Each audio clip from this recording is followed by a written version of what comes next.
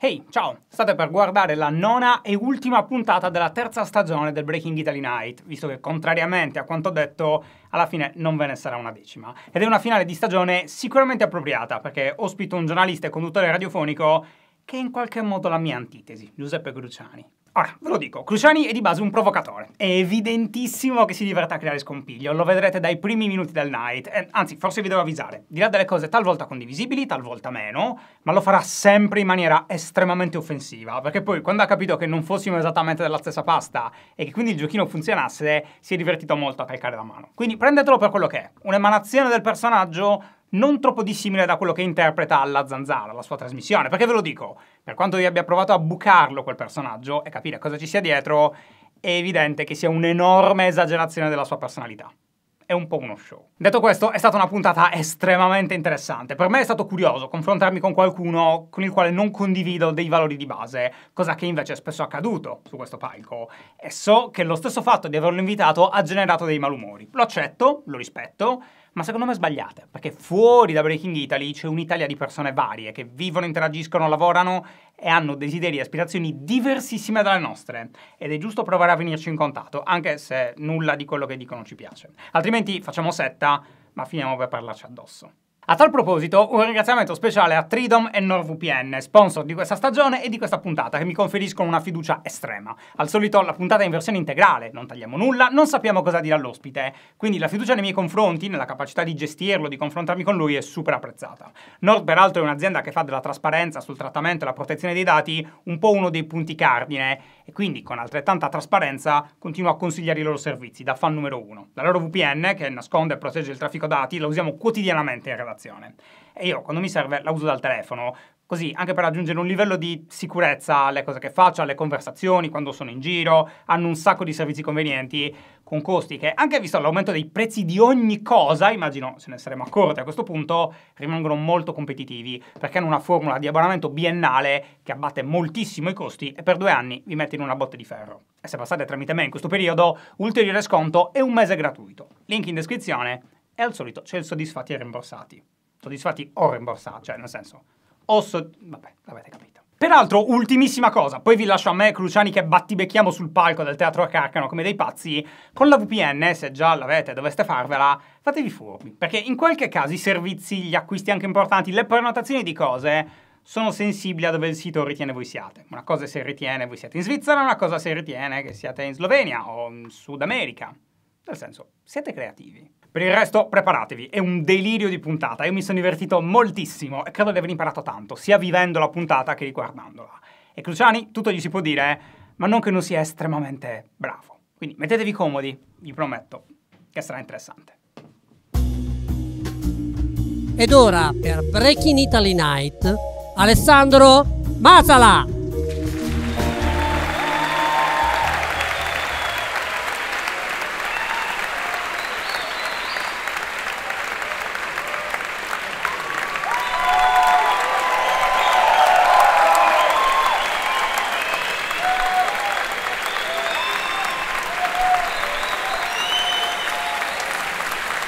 Buonasera! Buonasera a tutte, buonasera a tutti! Grazie, grazie mille! Wow, grazie mille, apprezzo, grazie. Mi faccio l'applauso da solo, bravissimo! Molto bene, eccoci qui. Benvenuti alla nona puntata di questa stagione del Breaking Italy Night. Eh, ci, ci, accorgiamo che stiamo arrivando verso la fine perché fa fresco in questa stanza, mi rendo conto.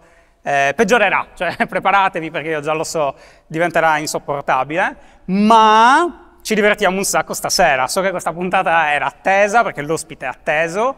Eh, in, in, in barba chi dice che invito soltanto persone che eh, la pensano tutto e per tutto come me, ho invitato qualcuno che in genere la pensa tutto e per tutto al contrario di me. Eh, in realtà no, in realtà secondo me stasera ci divertiamo perché eh, a parte l'idea di cercare di scoprire, adesso già lo faccio incazzare perché non gli piace la parola personaggio, quindi il personaggio, la persona, il personaggio, tutti i miei video si chiamano così, tutti i titoli sono la persona e il personaggio, ma in realtà secondo me scopriremo che ci sono punti di, in comune con, eh, eh, con quello che faccio io e punti invece no, non sono in comune. Però eh, c'è, c'è, un mix, c'è un mix, l'ho scoperto guardando ore e ore di interviste e di trasmissione che io seguo da, da tantissimi anni. Quindi vi chiedo un applauso per Giuseppe Cruciani.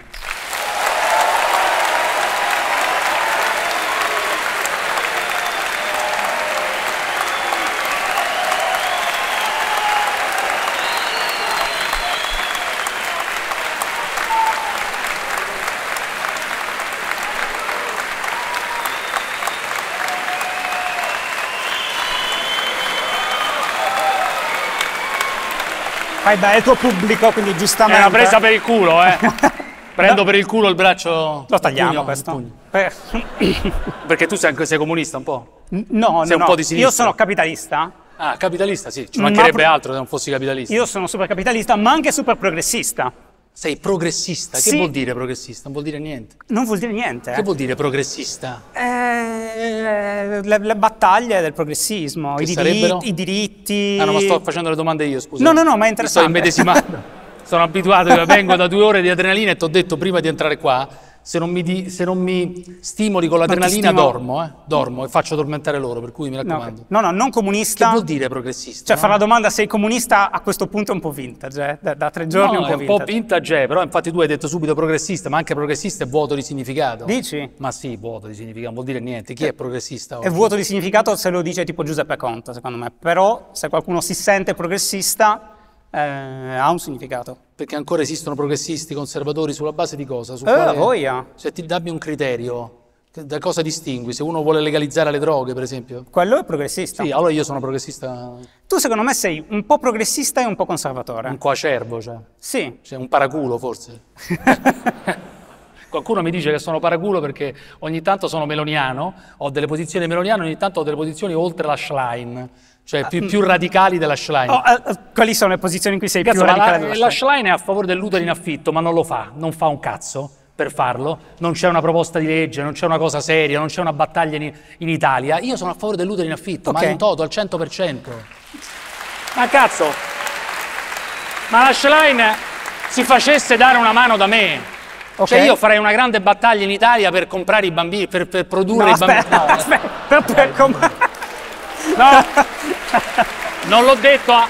Non l'ho detto a caso perché dicono che quelli che vogliono fare l'utero in affitto vogliono comprare i bambini, eh, esatto. no? vogliono comprare... ma io sono a favore. io sono a favore che i bambini, due, una coppia, se vuole un bambino, la vita è sempre meravigliosa, la nascita di un bambino è una cosa straordinaria, perché okay. due eh, persone che siano omosessuali, che siano trisessuali, che siano un coacervo, che siano dei canguri, che siano due, due uomini, due donne, un uomo e una donna che sono la maggior parte nella maggior parte dei casi, e così vadano in, sono d'accordo per il fatto che vadano purtroppo in Canada e decidano io voglio un bambino da una che per nove mesi la, paghi, la pago. Eh, Oh, oh, sì, anch'io sono d'accordo, più o eh meno. No, ma però vedi, balbetti tu già, sei no, d'accordo, però sì, no, però... Allora, no, allora, aspetta. Sì, però solo con una che non vuole soldi, che l'altra cazzata radicale, no? no, no, La cazzata che... di Cappato, l'altro giorno l'ho incontrato, scusa, adesso sì, lo, vai, devo...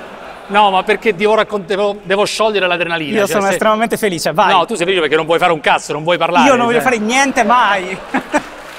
Fa fare, cioè lui, no, lui prende i soldi, da que- no, precisiamo, da questa cosa qua, lui prende i soldi, io zero, diciamo. Io certo. Zero. E infatti dovevamo iniziare dal libro, dice però c'è, la marchetta del libro, dice allora vengo. Però fino adesso zero, vabbè che sono passati 5 minuti. No, so, infatti, infatti. Eh. Però posso dirti, allora l'altro giorno ho incontrato Cappato, che forse alcuni di voi sanno chi è, spieghiamo chi è. Insomma, Cappato no, no, ma è... Esponente radicale, insomma, sì, eccetera. Sì.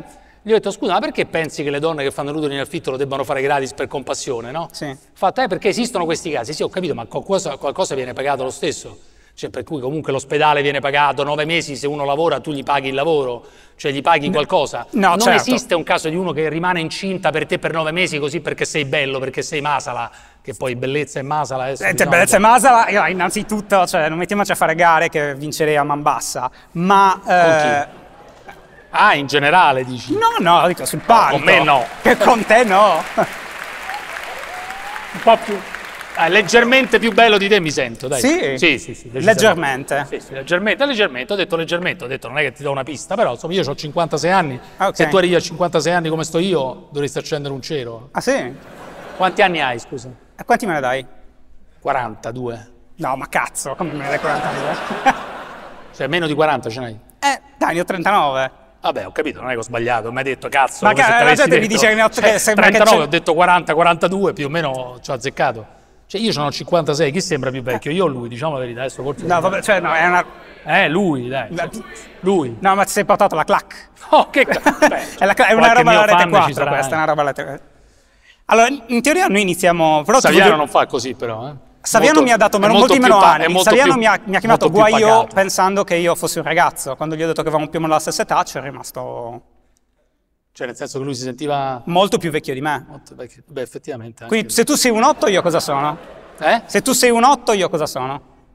Un 8, io, tu sei un. ah, da- da- voto, dici? Sì. No, io non sono 8, non lo so, io mi sento più affascinante che bello. Però lo sono più di te, sono più affascinante di te. Sei più affascinante di me. Sì, insomma, faccio più colpo, cioè se stiamo in un posto con 10 donne, 9 scelgono me e una te. Ma te lo posso... Un applauso alle bugie, dai! No, ma che bugie, io lo penso sul serio, poi dipende chi c'ho a casa, cioè questo te lo posso certificare. Ok. Cioè con die- tra 10 donne qui Sì. cioè, che scelgono, 9 scelgono me e una te. E una te. È una me. Vabbè, ma non è male una comunque. No, no, no. Tu sei un monogamo, tendenzialmente sarai monogamo sicuramente. Eh, Sì.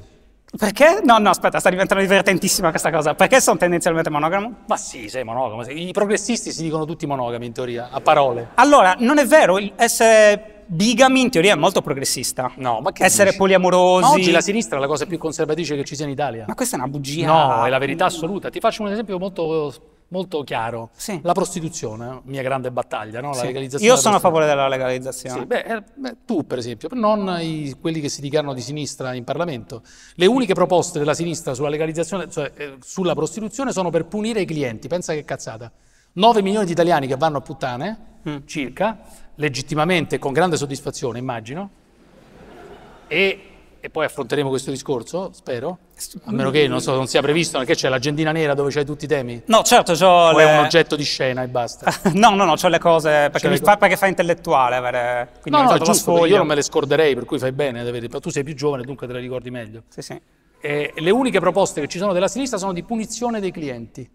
Cioè la sinistra fa solo proposte di donne che pensano di eliminare la prostituzione, cioè di sostanzialmente come dire, vabbè, il mare oggi non c'è più, diciamo, no? Cioè come al sole vogliamo tutta l'estate, tutto l'anno. Ma anche la destra.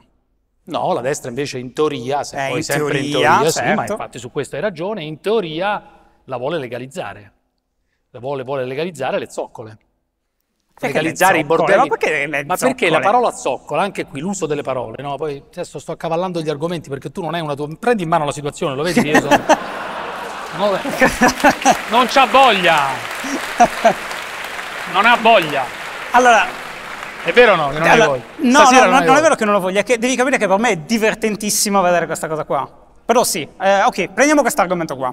Quale? Quello del- de- della terminologia. Perché tu sei, tu sei di quelli, Sì. sta, sta diventando una, una roba in cui ci accusiamo vicendevolmente da mm, molti minuti, che non si può più dire niente. Sì, assolutamente. non Che è una, è una falsità gigante. No, no, no, non è la falsità, la Ma verità. l'hai appena detto. Co- Vabbè, ho detto qua, però lo posso dire, cioè lo posso dire qui. Dov'è che non lo puoi dire? Non lo puoi dire? Io lo posso dire perché c'è una specie di zona franca. E vabbè, quindi si può Sì, io dire. lo posso dire, però no, è, è una rarità assoluta. Ma non è Infatti, vero. Sì, assolutamente, è una rarità assoluta. Infatti, da un momento all'altro mi aspetto che la Claire tiri giù qualcuno, tiri giù la Claire e dici, vabbè, basta, avete detto troppe cose, oppure comunque basta, ci vuole un po' più di politicamente corretto, bisogna parlare meglio. A me questa cosa del politicamente corretto mi fa Sì, impazzire. lo perché so, lo so. So che i progressisti dicono che in realtà. So che i Si può progressisti- dire tutto. Non si può dire niente, non è vero. Non puoi dire frocio, per esempio. Ma l'hai appena detto. No, lo- sì, ma che c'entra? L'ho detto qua.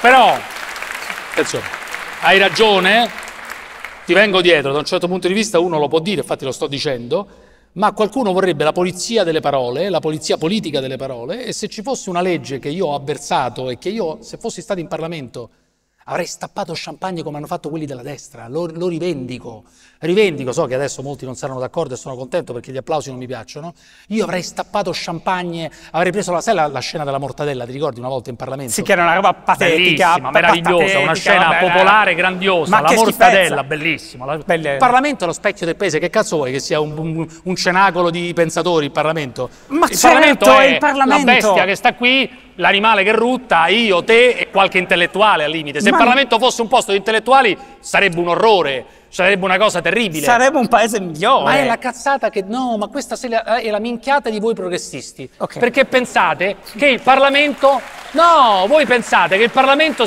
debba essere l'espressione del meglio che c'è in Italia.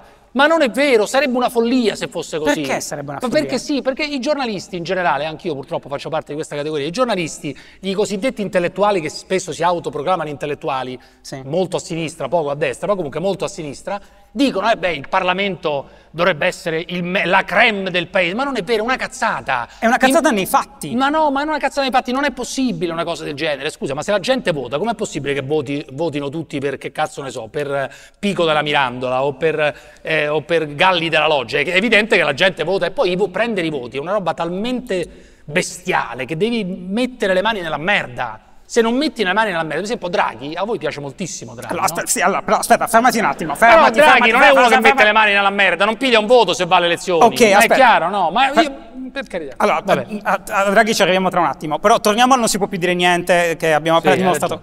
Eh, cosa succede? Nel non senso, si può dire niente, significa che quando se fosse passata una legge eh, che si chiama Zan dal, dal nome di un signore, la legge, famosa legge Zan dal nome di un signore che è un deputato del Partito Democratico, adesso molto fedele alla signora Schlein, anche la parola frocio, utilizzata in termine soft, non brutto Ma non frocio. c'è soft. Sì, come no, assolutamente. Non è brutto frocio o frocio di merda, che sono due cose diverse. Frocio di merda è un insulto, poi uno può decidere di dire, vabbè, sei un imbecille oppure andare in tribunale con alterne fortune, perché non è mica detto che poi Certo. hai...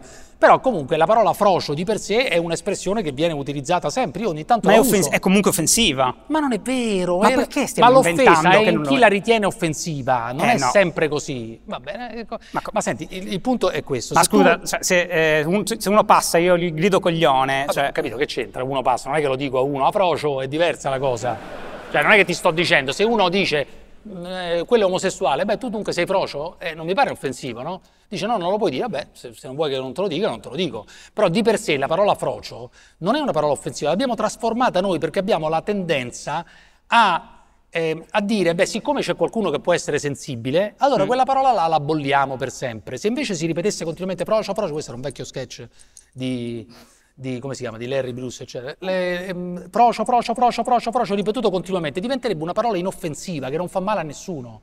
L'offensività di una parola è solo nella nostra testa, nella realtà ci sono moltissime persone che in privato omosessuali che si chiamano frocio, no? La frocia, certo, ma in, frocio. que- in quel caso non è offensivo. Sì, allora perché Dai, ma, cioè, quindi stiamo dicendo che la maggior parte delle persone che utilizza parole come frocio eh, lo fa in buona fede, diciamo. Secondo Cioè, me la maggior sì, non accade tipo ho nelle capito, ma è la polizia delle parole è, è- capito, è, è ridicola la polizia delle parole, cioè il controllo delle parole ormai così, così sofisticato, così invasivo, eccetera, è una roba che, senza senso. Che non esiste però, perché Come no, nessuno... esiste? Ma chi è che viene a prendere? A parte che la legge Zan non è che ti diceva che non la potevi dire quella roba No, lì, è eh. vero, la legge Zanne però poteva portarti in teoria in tribunale perché qualche associazione dice "Eh, no, però questa roba qui è istiga all'odio, no? Istiga all'odio. C'era un'ambiguità di questo. Io sono contento di averla combattuta a fondo Mm. perché non abbiamo bisogno di una legge in più e se uno offende pesantemente una persona, cosa che mi ripugna in quanto omosessuale, e allora questa persona giustamente eh, ci sono già tutte le leggi per cui uno io non mi rivolgerei mai a un tribunale. Cioè io una persona che odia i gay lo ritengo semplicemente un cretino, lo ritengo un imbecille, lo ritengo una persona, una persona che non- di cui non me ne frega un cazzo, lo ospito alla radio per farglielo dire certamente, perché mi- Quindi tu aboli... per rappresentare la realtà. eh, eh, Di, di questo ne parliamo tra un attimo, ma... eh, quindi tu toglieresti quel tipo di... È un'espressione è un'espressione frecceriana, Sì? è un'espressione frecceriana che è la realtà. Quindi cioè- fammi capire una cosa, siccome la legge Zan in realtà interveniva su una legislazione esistente e quindi ampliava delle tutele che già esistono su altre categorie, tu toglieresti quelle tutele anche alle altre categorie, tipo persone, eh, razza ad esempio, quindi si può dire qualsiasi cosa Guarda, io che sono, non dire. io sono tendenzialmente per, le- le- per la- quello che succede negli Stati Uniti. Tempo fa un, un ebreo, negli anni 70 se non sbaglio, forse qualcosa prima, negli anni 70 un, un ebreo abbastanza conosciuto, adesso non mi ricordo il nome perché sono, ormai sono vecchio, mi scordo le cose, fece una grande battaglia per la libertà di parola dei nazisti, da ebreo. Mm. Questo perché? Perché diceva, in fin dei conti, eh, noi dobbiamo combattere non non dobbiamo reprimere la possibilità che questi possano parlare. Questi dicono delle cose orribili, il razzismo è terribile, il nazismo è ovviamente una cosa ripugnante, ma chi decide chi deve parlare e chi no? Questi devono parlare e noi dobbiamo vincere la battaglia del confronto, non quella di reprimere la libertà di parola. E infatti in America c'è una legislazione che, come sai, permette al Ku Klux Klan di esistere, cosa che non sarebbe impossibile in Italia, vedere delle persone, No, infatti incappucciate. Casa- delle persone incappucciate. Eh. Un conduttore radiofonico molto conosciuto come Howard Stern negli Stati Uniti, tempo fa, quando era Howard Stern e non adesso la parodia di quello che era prima, invitava fisso una volta a settimana il capo del Ku Klux Klan in radio. Io se potessi lo farei. Il capo del Ku Klux Klan una Sì. volta a settimana in radio sarebbe straordinario. Ok. Sarebbe, sarebbe una cosa infatti, bellissima. e infatti è, è- è pazzesco che in Italia non possano esistere cose come Casa Pound, non possa esistere Forza Eh, Nuova. esistono, infatti. Infatti esistono. Sì, esistono. Eh, non è un dei- problema, nel senso, stanno là. No, eh, non sono come Ku Klux Klan, perché poi No, no, ok, che non sono cioè, come Ku non è la stessa cosa, perché Ok, cioè, non ti fare querelare da, anche tu da questi No, no, dico però esisto- esistono formazioni di estrema destra che fanno cose... Ma sì, ma infatti secondo me la libertà da questo punto di vista, le- queste cose qui vengono sterilizzate se, se mh, questa è gente che parla e prende lo 0,0, E allora non è vero che non si può più dire niente, si può dire tutto. No, Solo che poi una- ti prendi la responsabilità delle cose che hai Allora, detto. il vero, il vero danno sono, non sono dannosi, adesso non, confonde- non confondete le cose, sono le associazioni. A me fanno impazzire le associazioni. In Le generale. associazioni LGBTQ, eccetera, eccetera, che- Eh. Di protezione dell'omosessualità, che per carità hanno avuto una grande funzione, sono diventate delle, delle cose di un conservatorismo pazzesco. Cioè ti controllano qualsiasi cosa tu dica, se critichi il gay pride ti dicono che sei omofobo, se critichi, eh, che ne so, il l'utero in affitto, che ne so, un'altra cosa, eh, ti dicono se hai combattuto come io ho combattuto la legge Zana, dici allora sei omofobo. No, semplicemente non voglio che mi rompi il cazzo se dico frocio, punto e basta. O Eh, se, vabbè, ma o se ovvio che- un'espressione un po' eccessiva nei confronti dell'omosessualità. Ma è normale. No, non è normale. È normale. Non è normale. Ma per dirti, io sono vicino alla comunità LGBT e ho delle perplessità Ma che su- vuol dire la comunità LGBT? Tu dici sono vicino alla comunità, la comunità non è che è un'entità sovrasto... No, no, infatti all'interno la, ci la sono tante- Ma che vuol dire? A me già fa impazzire questa cosa, ci sono le singole persone, non esistono... La Thatcher diceva, santa donna. La Mamma Thatcher mia. diceva? La Thatcher era un gigante assoluto rispetto ai nani di adesso, sia in Inghilterra Eh, che in vabbè, lo Italia. si dice per tanti Thatcher politici. Era un gigante, Vabbè, dai, su, ok. diciamoci la verità, è una Ok. che fece la battaglia contro i minatori, contro i minatori e se ne fotteva del consenso dei minatori. Era lì e chiudeva le fabbriche perché non, conta- perché non- non funzionavano più. Comunque, vabbè, la Thatcher Vabbè. diceva che in realtà, eh, non- lo diceva addirittura della famiglia lei, No, anzi della famiglia no, diceva la comunità non esiste, I- ehm, la, ci- cioè, la cosa della, no, dei- dei- delle liste civiche, queste robe qua, non es- esistono le persone. Sì, ma no? le persone si uniscono Per in cui per me gruppi. non è che esiste la comunità LGBT, io parlo con uno, non è che parlo con la- il capo di una comunità LGBT, perché chi cazzo rappresentano Ma che discorso qua? è? Persone- Ognuno rappresenta gli arcigay, rappresenta i suoi iscritti al limite, forse nemmeno quelli. Io parlo con una persona singola, Sì, ma persone che sia gay, simili. se, vada- se va con gli uomini, con le donne, non me ne frega un cazzo a me delle persone.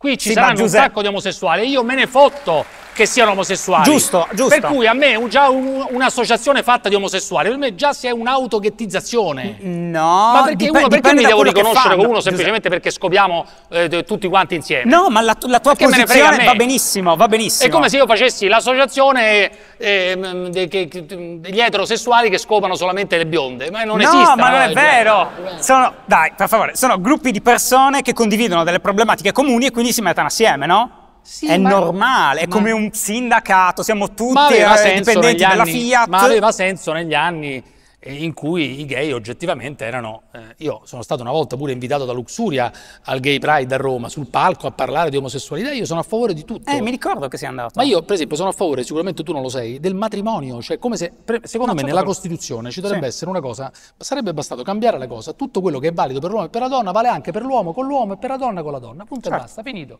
Cioè, certo, non è che si può pensare che esistono le famiglie queer, come dice qualcuno. Chi è che l'ha detto? Vediamo un po' se indovinate, le famiglie queer, allargate, non esistono le famiglie allargate.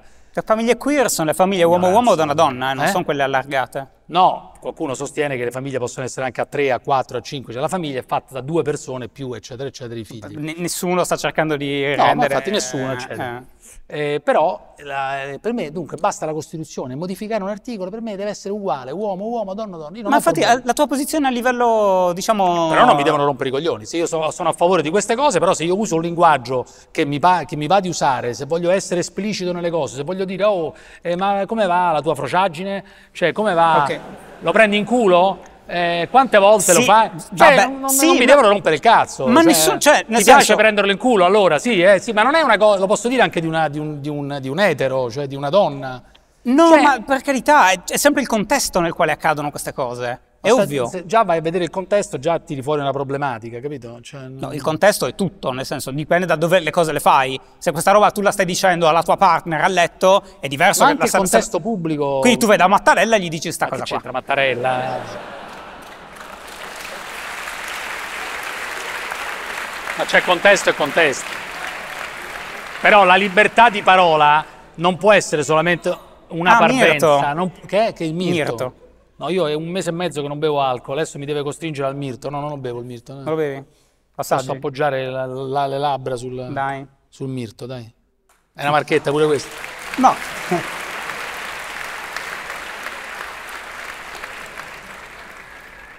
Pensavo che fosse una marchetta con qualche mirto sardo, no? No, Uno no, no. Uno sponsor sardo. No, mi rende affascinante bere il mio. È un elemento di scena. No, no, sì. Vabbè. I podcaster.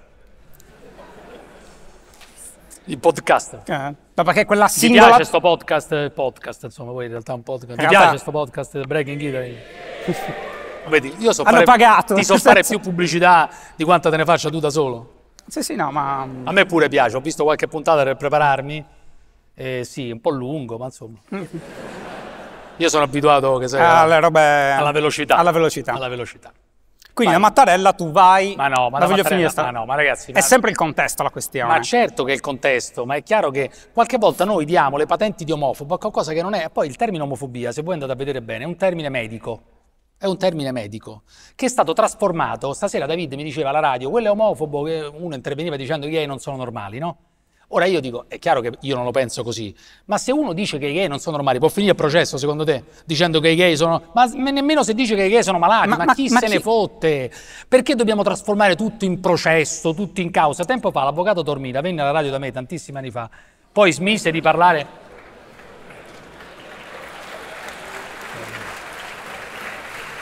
È stato uno Sia- dei momenti... Siamo al top, come dice qualcuno. Siamo- è stato uno dei momenti più belli della Sì. storia della zanzara.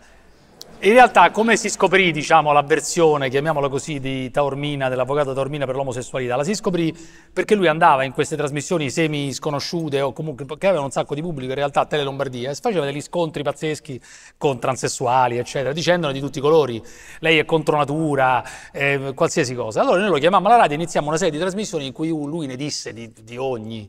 Ok. Tra cui una cosa in cui dice a un certo punto, stanco dall'ennesima polemica, gli dissi, eh, avvocato, ma lei se ci fosse un gay, non mi ricordo se dissi gay, un omosessuale, ma lo assumerebbe nel suo studio? Di avvocato io dissi, ma che sei matto?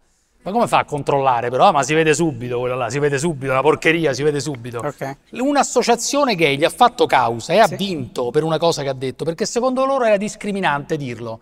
Ora io dico, puoi fare causa a uno che dice che non assumerebbe un gay, ma è evidente che è una cosa detta, cioè che non lo puoi, non lo puoi non- nel- nei fatti non, è- non c'è discriminazione. Io l'ho anche difeso, cioè in questa Infatti cosa. non c'è discriminazione. Ma no, ma non c'è discriminazione. Uno che dice io non lo assumerei, ma come fai a saperlo? Se, se poi veramente succede qualche cosa, allora è giusto che ci sia la punizione, no? Lui alla fine pagò 10.000 euro. Per cosa mi- è stato condannato? Qual è il... Un'ammenda di 10.000 euro. No, il- qual è il reato che ha compiuto? Ma non mi ricordo era, qual era, sì, una cosa, violazione di norme, non mi ricordo esattamente. Comunque credo la legge Mancino, forse, una cosa del genere. Non mi ricordo se la legge Mancino oppure, oppure proprio discriminazione, penso di sì. Arrivò alla- addirittura al Tribunale Europeo, lui ha fatto tutti i ricorsi, alla fine ha perso, ha dovuto pagare 10.000 euro a questa associazione. Mm. Però già un'associazione che per conto di X omosessuali fa una, una- una causa, secondo me già siamo al limite della follia. Comunque, vabbè, Siamo- stiamo annoiando il pubblico. Non credo.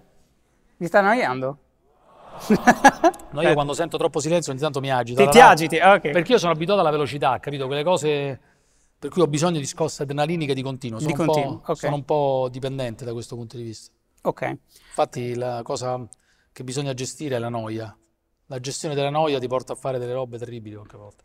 Tu quando fai la radio ti, ti preoccupi di continuo di stare annoiando il pubblico? Sì, ti continuo. Ok. Mi incazzo quando c'è un ascoltatore che non funziona.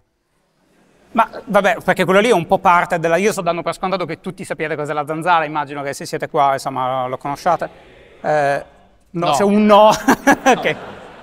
Si attacca al cazzo.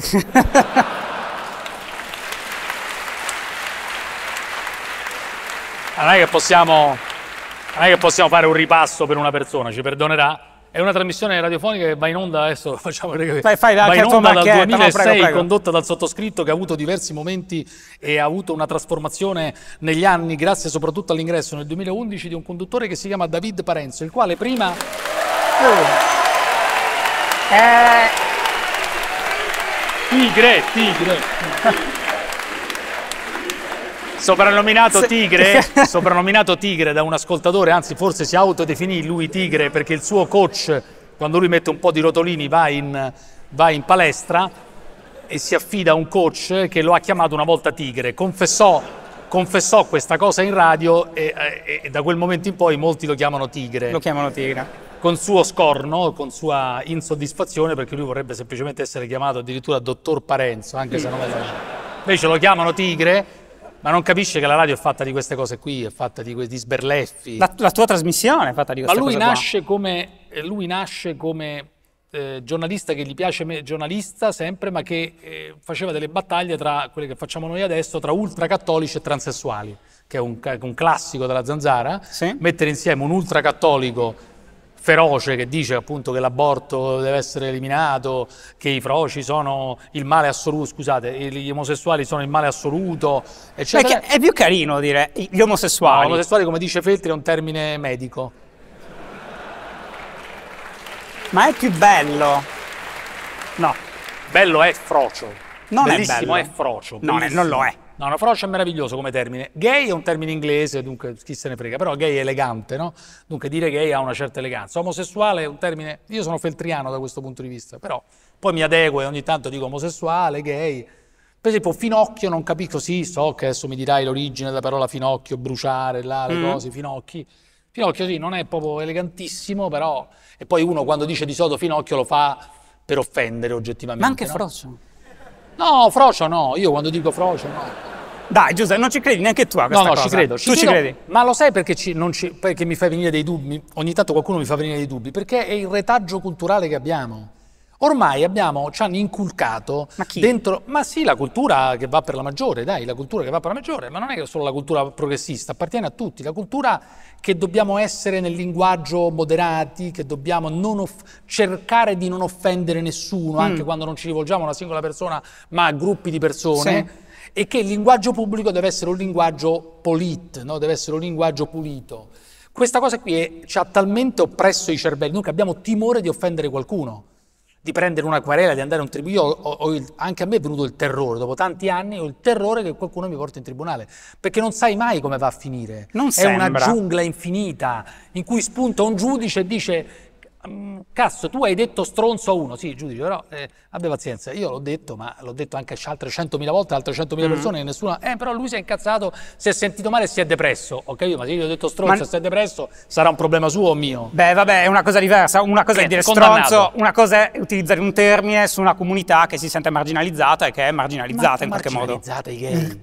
I gay sono marginalizzati. Ma i gay sono un dominio ovunque, c'è, un- c'è una presenza, ma giustamente. Ma, ma se sono marginalizzati i gay, allora ragazzi, cioè, allora io che sono? Cioè, ehm, cioè, non- Tu che sei? No, ma dico, io sono, anch'io sono un po' marginalizzato dalla cultura, diciamo, marginalizzato. Insomma, sono, alcuni mi vedono come una sorta di, no, di, di mostro, come, uno, come la persona volgare, come una persona che non potrebbe andare nei programmi un po' più decenti e dice no, perché quello là poi la dice grossa, no? la spara grossa, non possiamo controllarlo. Qualcuno lo pensa anche in molte aziende dove io lavoro, che io sono un pericolo pubblico. Che sei che, incontrollabile. si- che sono incontro- un po' me ne vanto io di questa cosa. Ma è qua. evidente che te ne vanti, perché comunque le stesse, mh, eh, le stesse idee le potresti esprimere in modo diverso, ma è evidente che invece cerchi sempre un po' la frizione sulle cose, No, ma questa è una, una parodia di me- di- di- di- che fanno di me che io non accetto. che non accetti. No, non è che non accetto, è che io sono consapevole del fatto che qui siamo in teatro e che dunque... Però cerco di essere me stesso al 100%, non, non c'è nessun eccesso rispetto a quello che penso. Cioè, devo fare spettacolo, ma non è che lo faccia a ogni costo. Anzi, spesso quando vado, adesso stasera no, perché magari sono, più, sono in vena, però ogni tanto mi accusano di, di essere un, diverso rispetto a quello della radio. No, allora dicono, vabbè, allora la radio fingi. No, è semplicemente perché sono stanco, non è che posso fare 5 ore di, di- di show continuamente. Però no, io non penso di essere, di essere un pericolo per qualcuno, anzi spesso nei posti in cui vado sono molto aziendalista. Mm. Ho un contratto con Mediaset e penso di essere super, eh, super, diciamo, non, non penso di essere di un pericolo nella maniera più assoluta. Vabbè, a Mediaset, diciamo... Vabbè, che c'entra Mediaset? Mica, che c'ha Mediaset? No, Ti- no, beh, Ti fa dico- schifo Mediaset? È un po'. Ah, ti fa schifo Mediaset? Ma... Una notizia questa qua. Masala, due punti. Un po' mi fa schifo Mediaset. No, allora, non è che mi fa A schifo Mediaset è Mediaset. stata la libertà e la libertà assoluta. Poi con i suoi limiti, come tutti. Eh, ognuno- ogni, ogni azienda ha i suoi limiti. Vuoi mettere con la RAI? Non c'è paragone. Mm, No, però devo dire che alle volte mi capita di guardare dei Tipo, programmi... cos'è che non ti piace? eh, fuori dal coro non mi piace. Fuori dal coro è il programma più straordinario realizzato negli ultimi anni. Giuseppe, è una merda. Ma questo è il È progressismo, è il progressismo del politicamente corretto. Ma- è una ma merda. perché? Ma cos'è non è una merda. Non è una merda nella maniera più assoluta. A parte che i, i programmi vanno giudicati in primis dal fatto che funzionano o non funzionano. Perché tu che sei, hai detto all'inizio di questa conversazione, Sì. chiamiamola così, conversazione, eh, che sei uno, un capitali- il capitalismo, il mercato, eh, Sì. allora la prima cosa che dovresti vedere, una- un programma funziona o non funziona? Funziona. No, però ci Ha sono sempre delle regole sulle cose. Ma le regole chi le decide? Che vuol dire quali sono le regole? Vabbè, quindi io sono capitalista e allora mi metto a frustare i miei dipendenti, io non li Ma pago. mica Giordano frusta i dipendenti. No, ma Cioè, non ho mai detto questo, cioè che No, discorso eh. è? Però non è che Anche sono perché capitalista l'immagine e di quindi Giordano vale che tutto. frusta qualcuno può... È un'immagine, No, io non lo metto a Giordano. è cioè, un'immagine inquietante. Io sono molto amico di Mario e, e sono molto orgoglioso di, essere, di conoscerlo da tanti anni. allora, mi- eh, allora, gli fai una domanda per me, innanzitutto, poi Sì. parliamo anche... Ma tu sei Mi un bigotto tremendo. Io non sono un bigotto, io sono, Eh, uno che io pensa sono che un Giordano liberale. schifo. Io sono un una liberale. Se tu devi guardare Giordano come un grande show. Uno che porta, uno che porta, che trasforma ogni parola in una cosa scenografica, in una cosa scenografica, mettendo in campo ballerine, ballerini, cori, gente che canta, telecamere che, che girano da una parte all'altra. È uno show che costa un sacco di soldi. Ho è capito. una roba geniale, da solo fondamentalmente, qua- praticamente non dico senza ospiti, ma senza il talk normale che si fa, che si vede ovunque e Mm. riesce a tenere testa a- nello stessa serata, che cazzo c'è con lui? La- Boh. eh, il martedì a Floris e alla Berlinguer. Ma il problema è le basi dalle quali parti. Cioè, se tu inizi un... Cioè, a me è capitato di... Allora, innanzitutto la domanda che vorrei porre lui, perché poi mi dimentico, è perché c'è sempre gente messa così nei suoi... Cioè, nel suo set? Cioè, lui, cioè, lui parla e c'è sempre gente messa così, arrabbiata, tipo... Beh, certo, perché è uno show di gente incazzata. Incazzata. Ok, Cioè, le- cercavo di capire questo Le dettaglio. cose che funzionano di più in televisione dove qualcuno si incazza. Ma guarda che si incazza gente ovunque, ormai è un format che non è che gli- quelli che fanno i fighetti a sinistra, anche loro creano i- le contrapposizioni, gente che si incazza. No, no, ma guarda che tu mi stai... Ma cioè- guarda che la sceno- eh, i talk show sono una grande sceneggiata, è come stare a teatro. Tu pensi che ci sia qualcosa. La No, gente prende troppo sul d'accordo. serio i talk show. No, no, no, no, no, ma io sono No, non d'accordo. prendere sul serio Giordano. Se, se non prendi sul serio Giordano non ti può fare schifo. Devi ammettere che è una cosa nuova, che non c'era fino a qualche anno fa, e Mm. dunque già è una cosa originale che produce risultati, anche se costa tanti soldi, perché comunque costa mandare le telecamere ovunque, montare i servizi in un certo Oh, modo. Sì, vabbè, ok, che c'entra. Ma anche... cosa ti fa schifo? La battaglia contro i Già sì. vaccini, sacrosanta. No, allora, no, aspetta, non, non continuare a mettere carne sul fuoco, piano piano, piano piano. Eh, la cosa che mi fa schifo, ad esempio, no, che mi fa schifo l'hai detto tu, che non l'ho detto Tu l'hai che mi detto. fa schifo, vero? Come no? L'ha detto lui. Adesso, Eh. adesso si tira indietro. L'hai No, detto lo- a mezza lo tagli- lo- bocca. lo tagliamo e mettiamo la Però- sua voce mentre parla. No, non puoi tagliare qua. Mi ha detto prima, prima- quando siamo entrati, mi ha detto. Eh, io gli ho detto, ma possiamo tagliare qualcosa dopo? Ho fatto, no, non si taglia niente. Vabbè, non si taglia niente. Ok, no, perché se dopo vuoi tagliare qualcosa, qualcuno riprende con i telefonini e dunque riprendendo con i telefonini può uscire fuori quello che dici lo stesso e dunque è controproducente. Hai ragione, un ragionamento perfetto. Perfetto. Infatti sono d'accordo, però non è che puoi tagliare la tua battuta adesso. No, sto scherzando, sto scherzando. Giordano mi fa schifo, questa è la cosa. È legittimo, per carità. Eh, ho detto fuori dal coro, mi fa schifo, non Giordano. No, sì. Beh, no, adesso vediamo se hai detto questo, poi andremo a fare. faremo Ok, la VAR. chiunque abbia registrato ricontrolli faremo la adesso. VAR, la VAR, faremo la faremo la VAR. Faremo la VAR. Eh, il problema è partire sempre dalle basi, dalle basi sbagliate. Cioè, Quali se tu costruisci un intero... ehm, io sono ossessionato dai dati, sono ossessionato dalla verità delle cose. È proprio una, una mia roba. Mamma mia, che tragedia. No, è così, è così.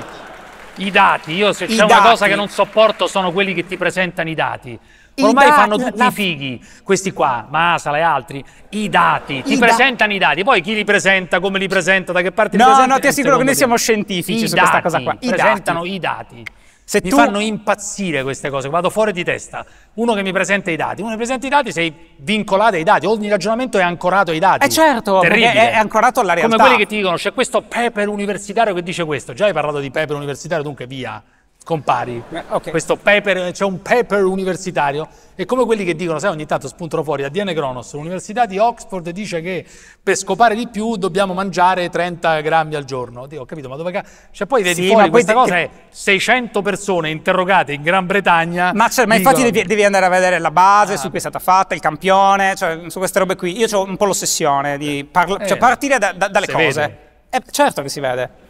Eh, se tu inizi a costruire uno show fantastico con mille videocamere attorno a Giordano Sì. che ruotano, bellissimo, però poi di fatto non stai portando, cioè io non sto imparando niente, sto disimparando delle cose. Secondo Altro me quello è errore, comunque un danno. errore tremendo, pensare che uno in un talk show debba insegnare qualcosa a qualcuno. Ma certo. Ma certo che Approfondime- ma questo- si ma chiama è approfondimento. Ma tu chi è? Ti hanno fatto un lavaggio del cervello pure a te? Ma chi? Ma la televisione non deve insegnare niente a nessuno. Se, Ma vuoi, se vuoi imparare qualcosa, vai a fare, e al limite, poi anche lì bisognerebbe discutere, una bella lezione all'università, una lezione Ma la privata da maggior parte delle persone non Ma va secondo te un talk show deve insegnare qualcosa a qualcuno? Ma certo. Ma questo è il progressismo, quello alla Saviano, alla, alla Formigli, ah, che pensa che dal talk show debba uscire questa è la, la verità. Sì. Ma che siete matti? Ma il talk show deve essere una grande rappresentazione scenografica, una grande pièce teatrale che si dipana purtroppo in tre ore di trasmissione ormai, se non di più, anzi tre ore e qualche cosa, e che deve lasciare incollati più o meno le persone al teleschermo. Se tu vuoi, vuoi che da questa cosa qua, da questo coacervo di scontri, di opinioni, esca fuori la verità, eh, significa che fai torto alla tua intelligenza. E siccome intelligente sei, non puoi pensare che da un talk esce- esca la verità. Questo è, e so che loro sono d'accordo con me. Cioè, questo. No, ma lo so. eh, oddio. No, è un po' debole tutti- questo applauso. No, sì. è debole perché purtroppo ci sono i masaliani. Ci qui- sono i masaliani. sì. i masaliani oppure quelli fissati col fatto che un talk debba produrre verità. A parte Talk- che Giordano non è un talk. Appunto, dico, a maggior ragione. Ma fanno le, cioè, le trasmissioni, Ma loro si- bellissimo, Giordano che urla, è una cosa straordinaria. No, ma chi se ne frega di Giordano che Ma urla belli, quella telecamera lì? Giordano che urla. bene.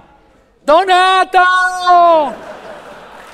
Anche lì è una trovata eccezionale. Ma porca Non un- ma è una trovata scenica e eh, vuol dire, eh, autoriale meravigliosa. Cioè, rivolgersi al tuo regista per nome non è il primo che l'ha fatto, ma anche lì perché nessuno si inventa niente alla fine, no?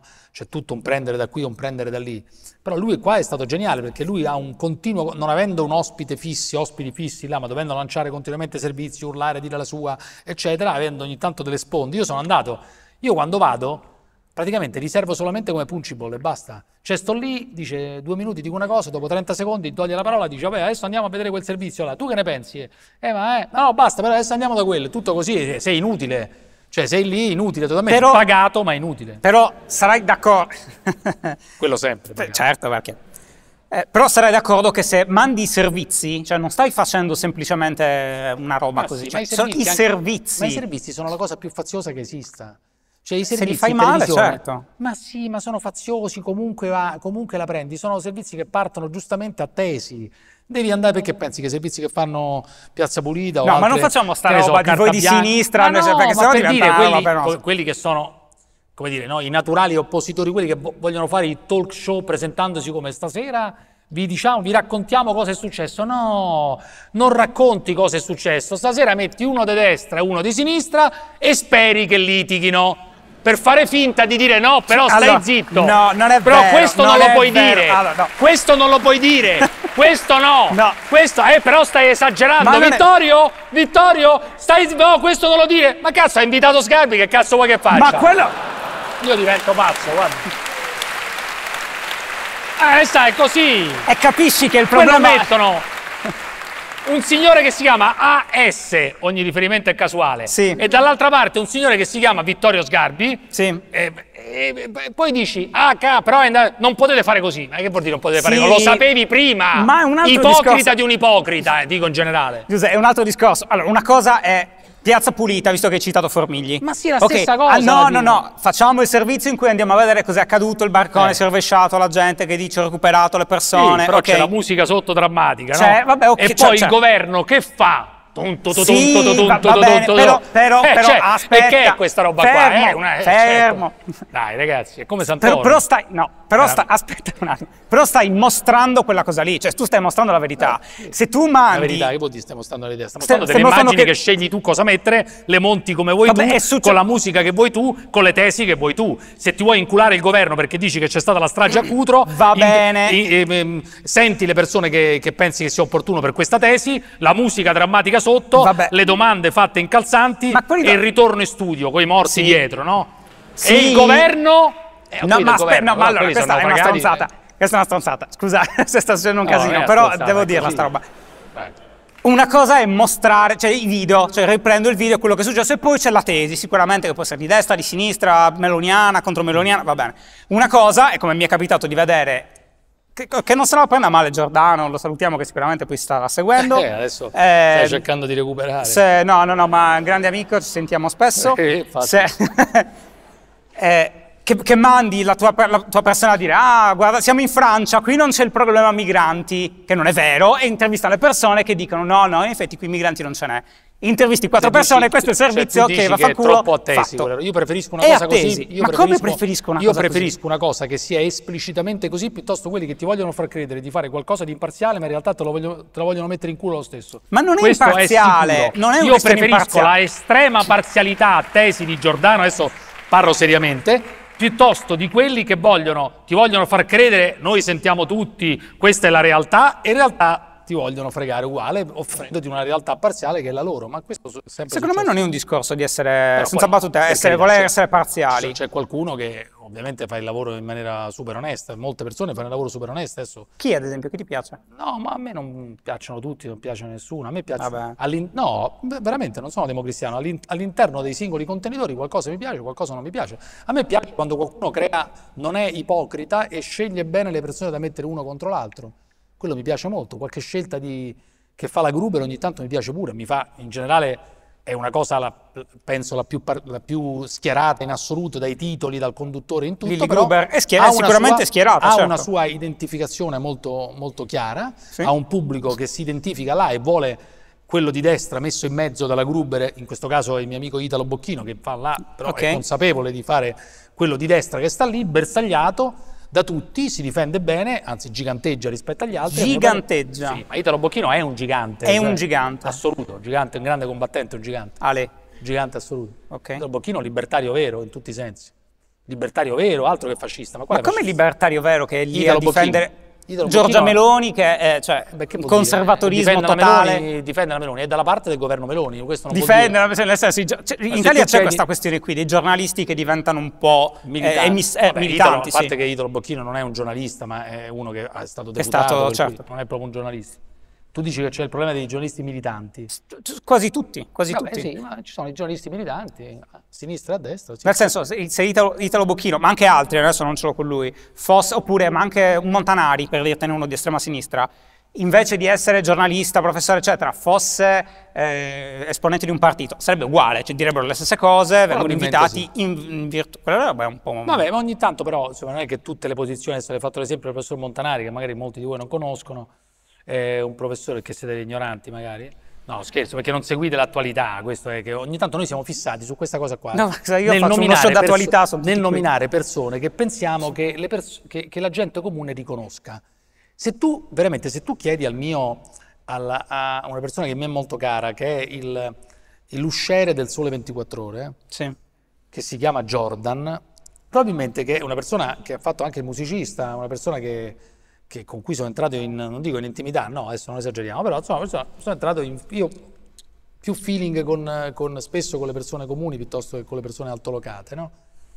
Ehm, E, e se tu chiedi chi è Montanari, tu dici ma chi cazzo è Chiaro, Montanari? certo. Ma questo vale per Montanari, per fare un esempio, mica perché, ma come anche per altre persone che noi spesso nominiamo nelle nostre trasmissioni Sì.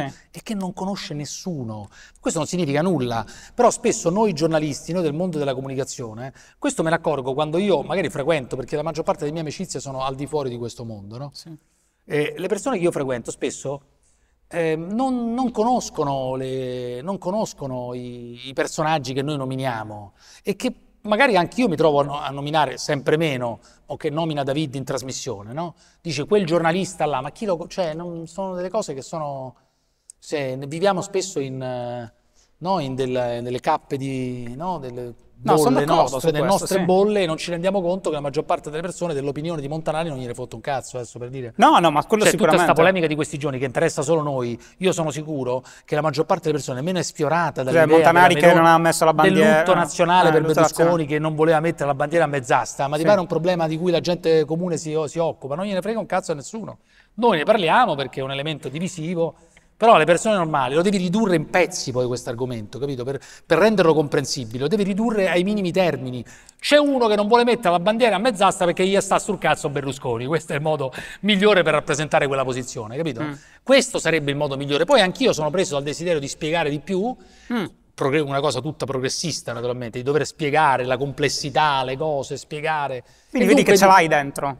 Ma sì, ce l'ho dentro perché la mia formazione, comunque io sono stranamente laureato e ho una vita così, che non è che vengo, dalla, vengo da una famiglia borghese, non è che vengo da una famiglia proletaria, per cui ho fatto l'università, i miei hanno fatto l'università, liceo classico, eccetera, Mm. per cui non è che vengo dalla- dal popolo, vengo da una famiglia borghese anche abbastanza benestante che mi ha permesso di fare tutto.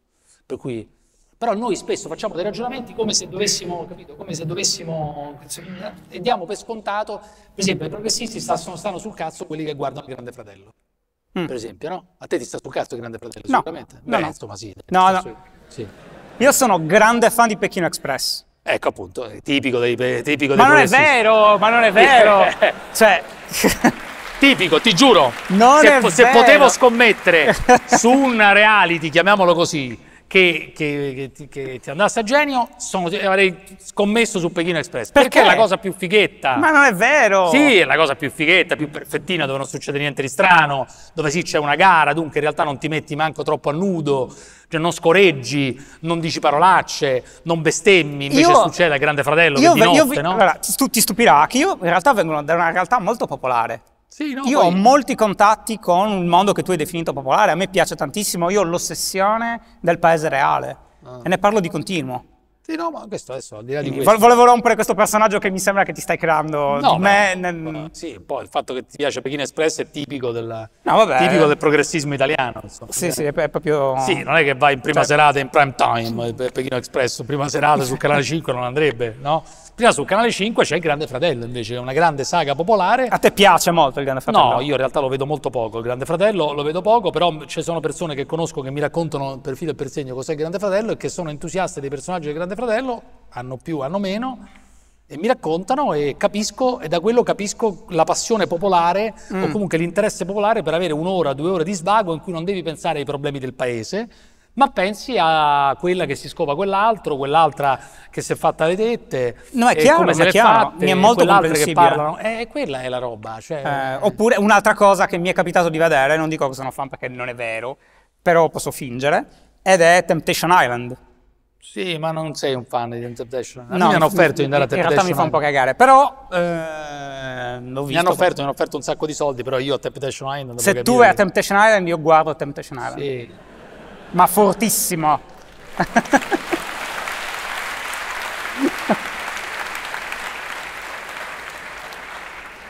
Qual è il tuo percorso? Come hai iniziato a fare questo lavoro? No, te prego, non ce la faccio. Non ce la fai?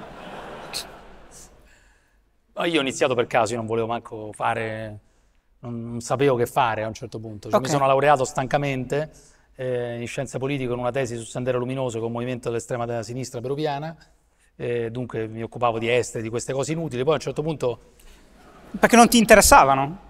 Ma sì, mi interessavano, però era un po' elitaria come cosa, interessarsi di cose peruviane, cioè, no?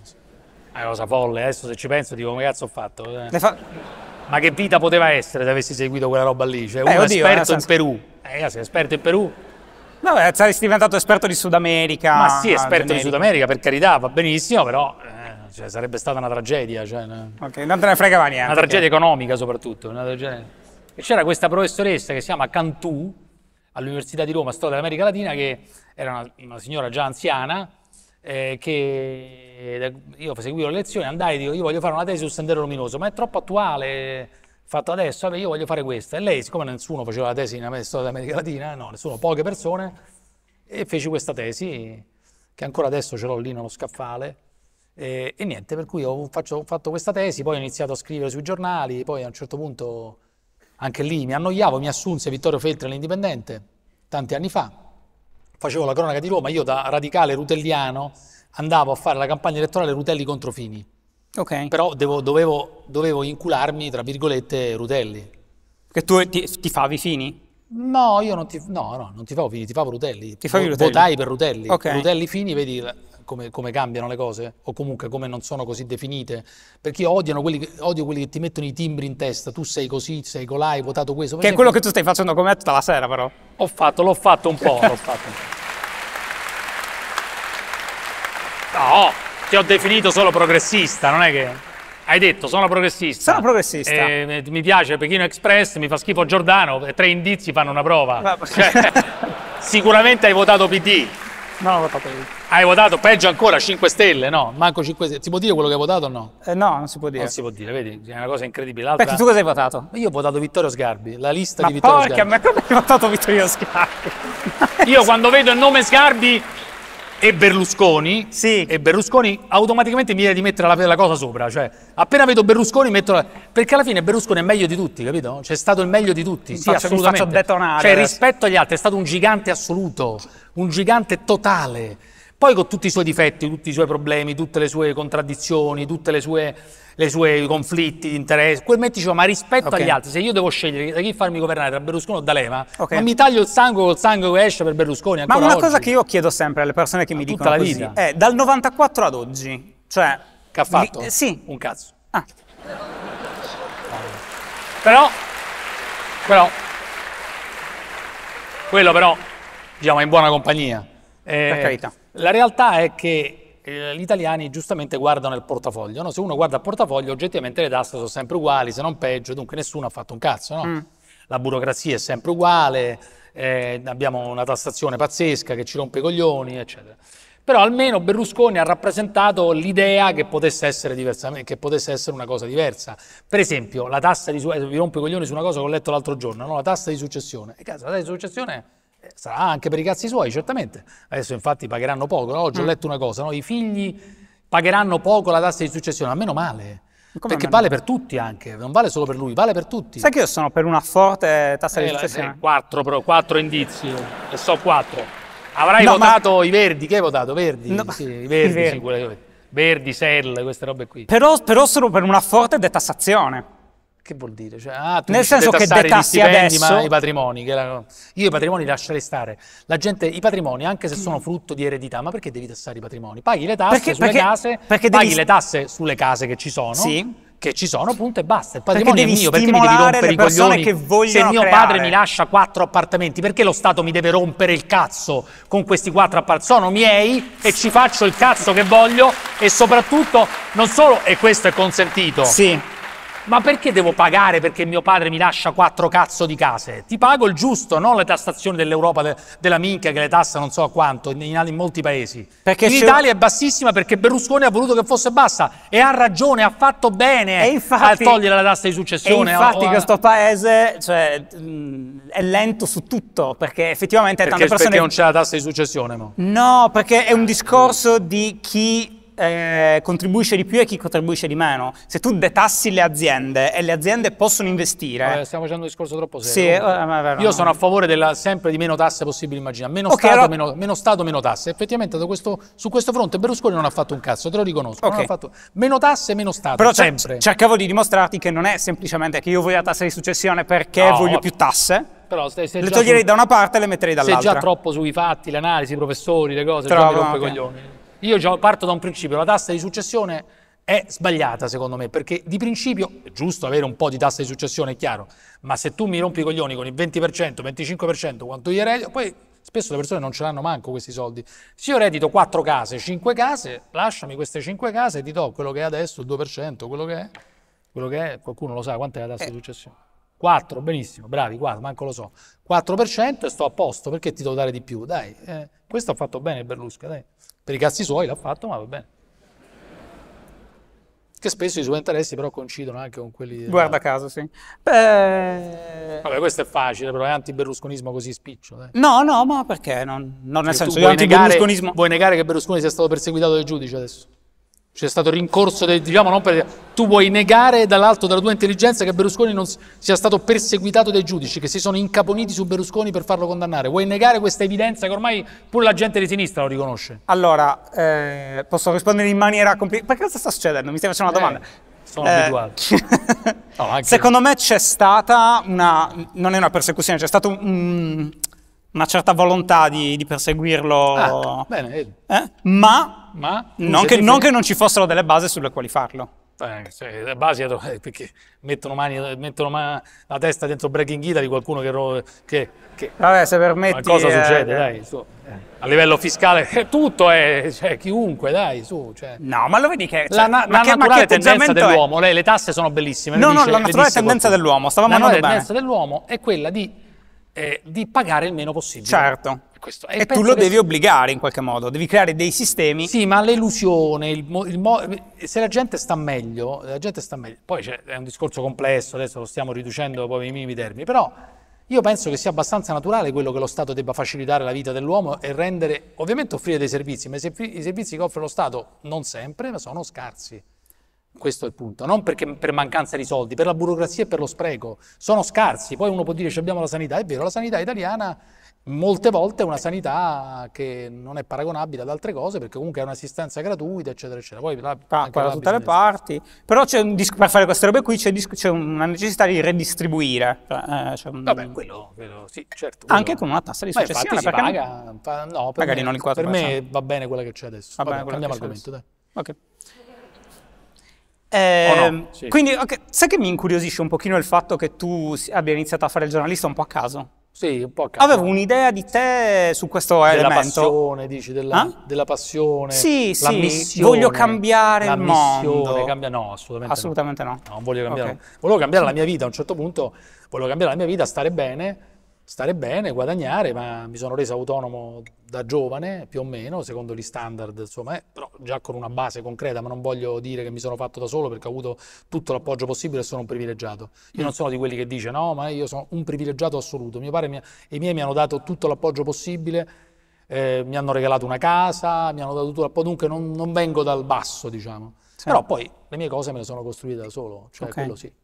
Credo che forse sia lì il discorso. Quindi tu non senti una responsabilità di nessun tipo nei confronti del tuo pubblico, delle Zero. cose che fai? Ah, vedi, è lì la differenza. Zero responsabilità. Tu invece Ok. ti senti investito da una responsabilità. Tantissimo, io sento il peso del mondo sulle spalle. Mamma mia, ma è una patologia vera questa? Uh, non hai idea. Cioè, è una, pato- è- una patologia. Cioè, tu ti senti responsabile di quello che dici perché pensi che noi quando diciamo influenziamo le opinioni pubbliche dunque da quel punto di vista dobbiamo stare attenti a quello che diciamo, a come lo diciamo, ai dati che offriamo perché c'è l'idea della verità. Guarda che è una patologia veramente grave questa. Meno male che cosa tu sei quello delle cose è il brevi. progressismo questa qua. No, La- è il ma è una precisi- fissa, è il- ma è una malattia la Il tua. precisismo, no? È un'altra cosa, adesso non so come definirlo. Ma ce l'hai anche tu però per cose diverse. No, io voglio, io identifico, io innanzitutto a un certo punto ho pensato, ma nemmeno ho pensato, ho- sono ritornato un po' bambino, Ok.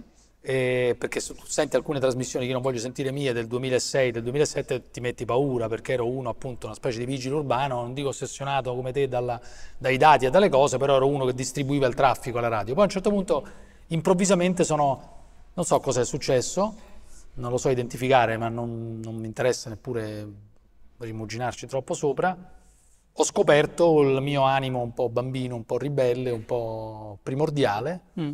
E ho pensato, che, mm, eh, ho pensato e mi è venuto di cominciare a parlare come se fossi al bar o come se fossi, o come se fossi in un luogo, come dire, come tra amici. ecco. Mm. E ho creato un grande club che è quello che in parte è rappresentato anche qui e sono orgoglioso di aver creato un qualcosa in cui le persone si identificano per linguaggio, perché si identificano nelle persone per come siamo noi, perché pensano che siamo veri, perché pensano che non fingiamo, che non vogliamo fare i professori, perché si identificano con i nostri vizi, con le nostre virtù, con le nostre debolezze che mostriamo quotidianamente, con, nostri, con i nostri limiti, con le nostre ignoranze. E anche tu sei ignorante in parte, ma non lo mostri. Tantissimo, Eh certo. Sì, però cerchi di, di dare il meglio di te. No, noi cerchiamo spesso di dare il peggio di noi, di mostrare il peggio. Non è vero, No, come no? Sì, non è vero. assolutamente. Eh, Io sono... tu hai più volte detto di essere, mh, cioè di stare male ad esempio quando fai una brutta puntata, di essere quasi tormentato dal fatto che l'hai fatta male. Sì, la persona che vive con me sa benissimo che cosa significa questo, significa fondamentalmente non dormire, significa essere nervosi, significa non essere eh, empatici con, con, la persona, eh, con le persone in generale, Mm, per cui significa non, non stare bene, cioè non stare bene, avere la testa in cui dici cazzo, ma perché non ho fatto questo, perché non ho chiamato quell'altro, perché, non so- perché ho fatto intervenire quell'altro, questa cosa non mi è riuscita bene, questa domanda non, non è andata bene, è una malattia, è un'ossessione. E perché è così?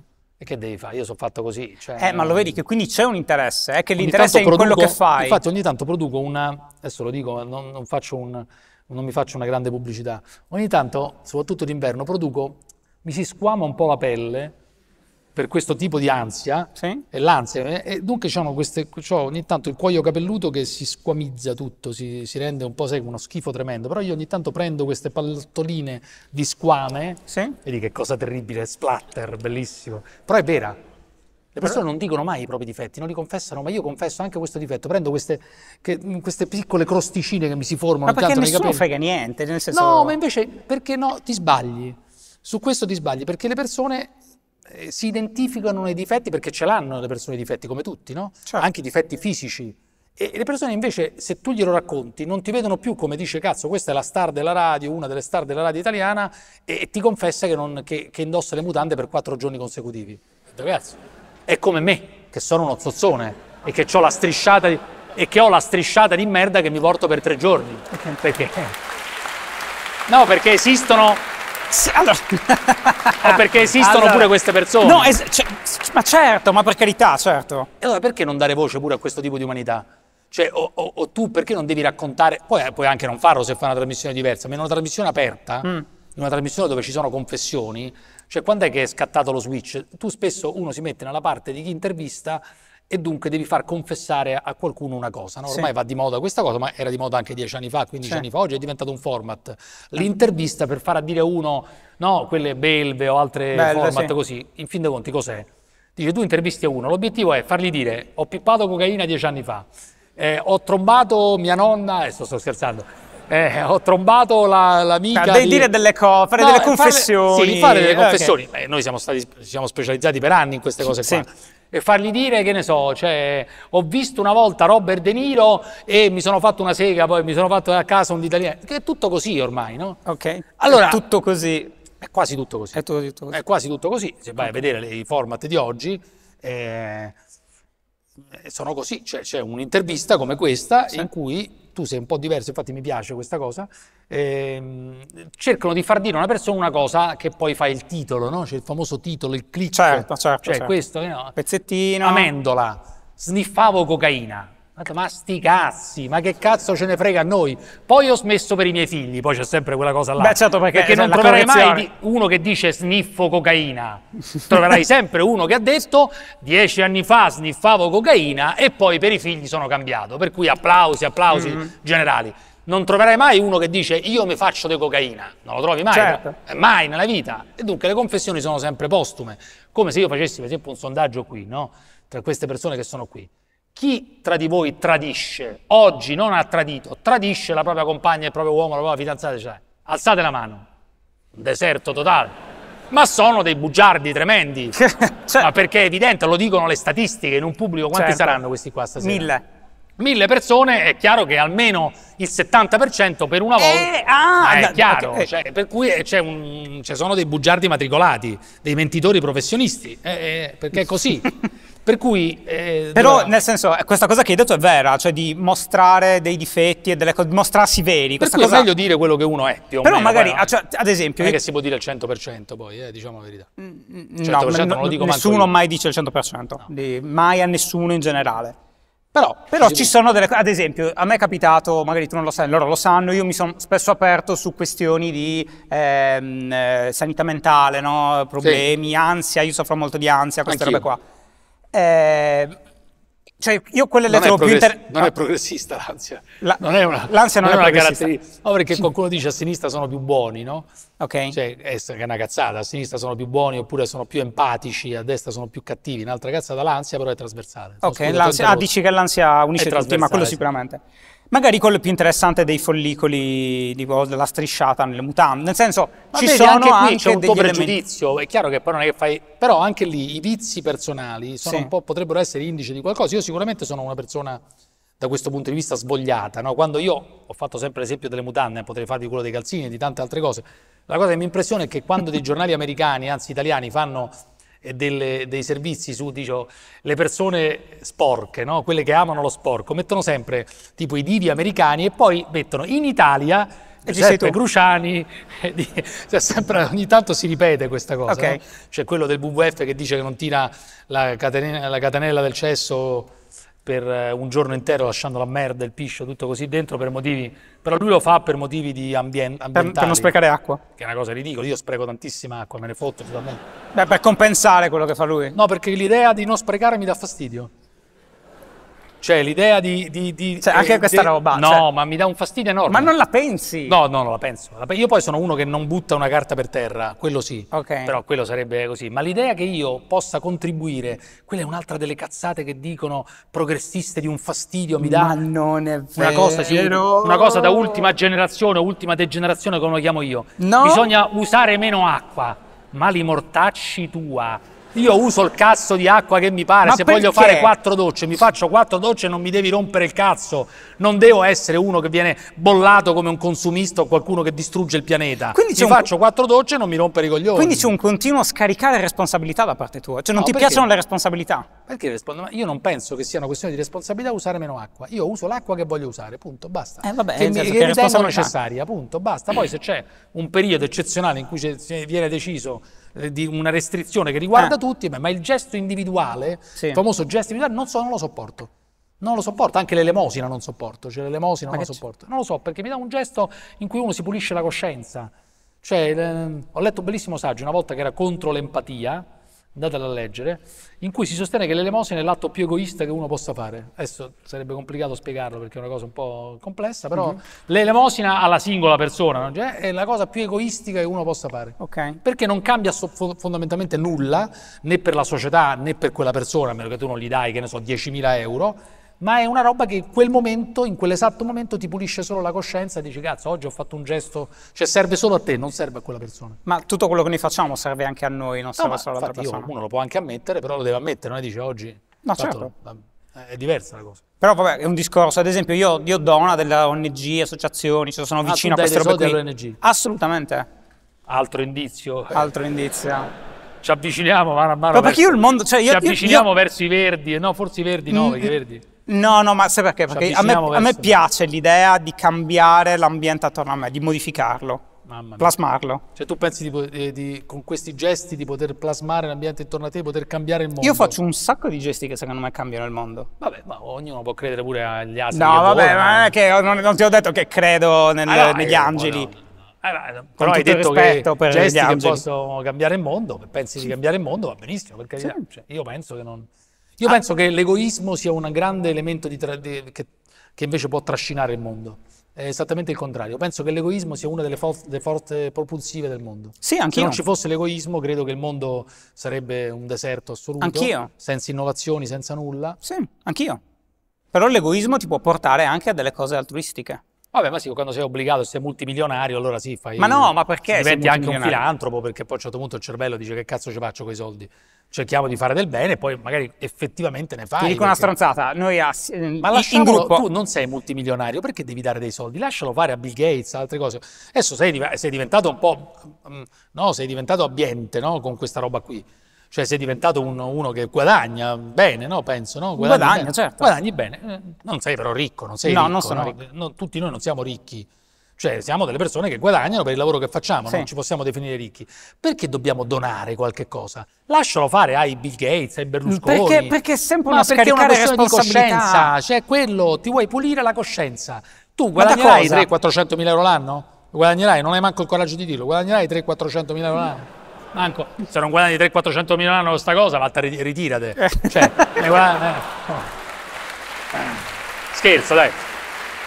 Però guadagnerai dei quattrini. Ok. Cazzo, ma mettili da parte, cioè che cazzo fai in beneficenza? Che sei matta? Alle ONG poi, quale ONG? Spero che scegli bene. Ma no, io collaboro proprio con, cioè facciamo delle cose con delle ONG. Solo per pulirsi la coscienza. Ma stiamo. perché? Ma perché si è solo per pul- Non serve, lascialo fare i grandi filantropi, la gente che ha i soldi veri che, che non sa che cazzo farci. Elon Musk, oggi era in Ma, Italia. Elon co- Musk. ma se lo lasci fare ai grandi gruppi, poi sono i grandi gruppi che decidono come quei soldi vengono investiti. A proposito, eh, la Meloni ha incontrato Elon Musk, non so se sapeva che Elon Musk ha fatto una figlia con l'utero in affitto. Non credo che lo sapesse. Però questi ma- lo vogliono rendere reato universale, l'utero in affitto, ti rendi conto? Quella l'ha abbracciato, cazzo, lo, vuoi arresta- lo vorresti arrestare? Elon Musk? Eh, Tipo, quanti figli ha fatto Elon Musk? è tipo 5. Due credo con, lu- con la, con la procreazione assistita senza utero in affitto, credo una ex Mm, correggetemi uno voi che con la GPA, voi che siete tutti professori. Una- uno l'ha fatto con la GPA che Sì, sarebbe sì, sì, la- Ma- ehm, chiamalo normale, utero in affitto, compravendita di, compravendita di bambini. Io voglio Esatto, dire, eh, compravendita Mer- di bambini. mercato di ba- Mercato mercificazione di feti. Ora mi ha fatto incazzare una volta, ero a Bari, feci un- una cosa sulla prostituzione, c'era l'avvocato di Vendola tra questi qua, no? Eh, persona rispettabilissima che io da un punto di vista umano Ecco, la premessa. mi piace molto. No, ma a me Vendola piace, è stato anche, dicono, un grandissimo presidente della Mm. Puglia, no? Eh, persona molto, molto permalosa. Eh, una volta eh, gli ho detto pubblicamente, poi mi sono confrontato lì con l'avvocato, con l'avvocato di Vendola, ma perché Vendola ha fatto una cosa che era contraria a tutta la sua vita, a, tutta- a quello che ha, ha sempre pensato della vita, cioè la cosa più capitalistica che si possa fare e più liberista che si possa fare è l'utero in affitto. Cazzo, cioè tu compri un bambino, lo compri. Se il sistema C'è una cosa più quello. capitalistica di quella e lui, comunista, ha fatto la cosa più capitalista. Dunque c'è una contraddizione un po' pazzesca, ma, ma- ma va bene perché, Perché l'ha pagato? È, cioè, è Ecco, confermato? Allora, una volta eh, feci una litigata con questo avvocato, Sì. diceva no, ma non l'ha pagato, non l'ha pagato, ritira questa cosa. Io ho fatto, guarda, l'ha pagato. In qualsiasi modo sia avvenuta questa transazione, Sì. questo scambio, bambino in cambio di qualcosa, c'è stato sicuramente un baratto, c'è stata anche un'agenzia, questo c'è stato sicuramente. Vendola e il suo compagno legittimamente, io sono tifoso di quello che hanno fatto. Ok. Quel bambino là ha tutto il diritto di avere il, eh, quel Eddie, come si chiama? Il marito che eh, non sai manco come si chiama il marito di Vendola. Non sai manco come si chiama il Eh, marito cazzo, di ma Che cazzo me ne trasmissioni ogni giorno si chiama Eddie, credo, è un Ah. canadese. Ok. Ne so io più di te che dovresti essere informato su queste cose qua. Vabbè, su- comunque, io non lo so. eh, ha fatto una. Ha fatto, protestano perché giustamente se viene in Italia non, gli- non gli- non lo riconoscono come padre del bambino. Sì. E per me invece va riconosciuta questa cosa qua, sempre se la legge lo consente, perché poi c'è il trucco che dice vogliono registrare i figli, però poi siamo, siamo contro l'utero in affitto. No, se tu vuoi registrare i figli devi essere a favore dell'utero in affitto, non puoi essere paraculo. E comunque, al di là di questa minuzia, Vendola ha fatto una cosa capitalistica, cioè ha comprato un si è comprato un bambino. Ma è confermato che quindi l'abbia pagato? Recentemente ha fatto un'intervista al Corriere della Sera, nel- quando c'è la discussione recente sull'utero in affitto, in cui ha detto una cosa molto chiara. Che è successo? Come è successo? Eh no, non l'abbiamo pagato. Abbiamo pagato, pensa che paraculata, abbiamo pagato lei, la gestatrice, la gestante del bambino, come si dice, gestatrice, gestante, non lo so, del bambino, quella che poi ha messo, ha messo cioè quella che ha poi sfornato, come si dice, no? Sfornato, è brutto. Eh, eh, Brutto, non è esattamente medico, diciamo sfornato. sì. Sfornato, bellissimo. no? Ha tirato fuori il bambino dalle fauci e, e dice abbiamo pagato un anno in cui non ha lavorato. Beh, dunque hai pagato, questa qua in America avrà fatto un lavoro, dunque 100.000 dollari gliel'avrei dati, non so che faceva questa qua.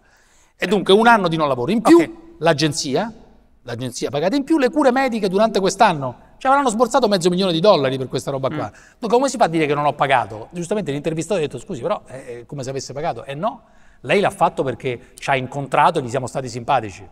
Vabbè, che questa magari sei così una stronzata, ma Più o eh, meno era così. per- rispondimi sinceramente Siamo su entrati questo. in empatia, Non, non riesci, Ma cioè, io sono tifoso di vendere di quello che ha fatto, eh, al contrario di molta gente a sinistra che invece non sopporta l'utero in affitto. Io sono a favore della compravendita, vorrei che si chiamasse così, compravendita dei bambini. È così, eh, sono più progressista di te. Eh, Io sono per il progresso, perché la gente abbia noi- figli. noi conservatori- Perché la gente abbia figli, Perché perché la se la gente gente, vuole avere un figlio, facciamoglielo fare anche così, è un vantaggio per tutti, per la Rispondimi, donna che, eh, che prende dei soldi, cioè un'Ucraina, come succedeva prima, che prende che prendeva 50.000 o c- 70.000 euro Sì. per mettere al mondo un figlio di altri Sì. e poi se ne dimentica, cambia la sua vita. Una ha in- nel Bangladesh con 70.000, mettiamo fosse 70.000, ma cazzo, ma è una che gli cambia la vita completamente. Qual è il problema? Se Eh. siamo a favore, è, un- è- una forma, tu, tu sei a favore della prostituzione, sì. è, è uguale, qui, lì è un affitto dell'utero per 10 minuti. Lì No, è un utero. No, aspetta, no, no, Gi- Giuseppe, per favore. allora. Non diciamo minchiate. Allora, Eh, nei fatti è così. no, dai. eh. Allora, se rispondimi sinceramente su questo. Cioè, è troppo estrema questa cosa. rispondimi sinceramente. Cazzo, quella è una, tu affitti l'utero per 10 minuti, se, eh, come di solito la media degli italiani de- del mondo, 10 minuti di trombata con la prostituta, e 10 minuti, un quarto d'ora, 20 minuti, affitto temporaneo, super temporaneo, affitto brevissimo. E, e l'altro è un affitto per 9 mesi. Ma Eh, a eh, parte che ovviamente ci sono delle implicazioni Se uno è a favore della gigantesche. prostituzione, della legalizzazione della prostituzione o della prostituzione, in genere deve essere a favore anche... No, non è la, Sì, no, sono due cose diverse. sono il figlio, sono due cose il di- figlio che nasce, vabbè. Eh, Ma son- il figlio è di chi lo alleva, non di chi lo, No, chi lo quello, fa. quello assolutamente sì, quello assolutamente sì. Il legame di sangue È è da terribile. un'ora che sto cercando di chiederti, No, rispondimi sinceramente, ma il fatto che ci possano essere delle donne estremamente in difficoltà, che quindi sono obbligate a fare questa cosa, in paesi poveri, cioè, frega niente. Nulla, meglio che cambiano la loro vita. Ma se perché sono obbligate? Ma per forza, ma ci sarà gente, se- sempre, adesso faccio Parenzo, sempre gente obbligata nel mondo. Che pensi di risolvere il problema delle donne del Bangladesh o della povertà nel mondo? È normale che ci sarà sempre gente in povertà. Vabbè, che ma che pensi che il discorso- mondo possa essere da un giorno all'altro tutto Vabbè, tutti ma allora facciamo anche la gente, allora andiamo lì, ci prendiamo gli organi della gente, perché tanto è gente in No, povertà, vabbè, quindi gli che organi è discorso è? un'altra cosa, perché gli organi ti possono produrre dei danni, la questione degli organi adesso non... Mentre il parto Adesso- è una roba super il parto- easy. No, non è super easy, però insomma, per fortuna la maggior parte delle donne ne esce indenne. Non sempre, però c'è un margine di rischio anche lì. Però io ovviamente sono a favore di questa cosa in situazioni controllate, non in situazioni clandestine, in situazioni controllate, con cliniche, anche lì lo scandalo perché eh, tu devi mettere, poi scegliere il biondo, no? Sai fanno questi servizi per screditare l'utero in affitto dove dicono tu puoi scegliere tra quello biondo, gli occhi come li vuoi, effettivamente succede da qualche parte. Poi la realtà è, è un modo per invogliare le persone, ma poi nella realtà non succede mai così, cioè non è che poi se spunta fuori...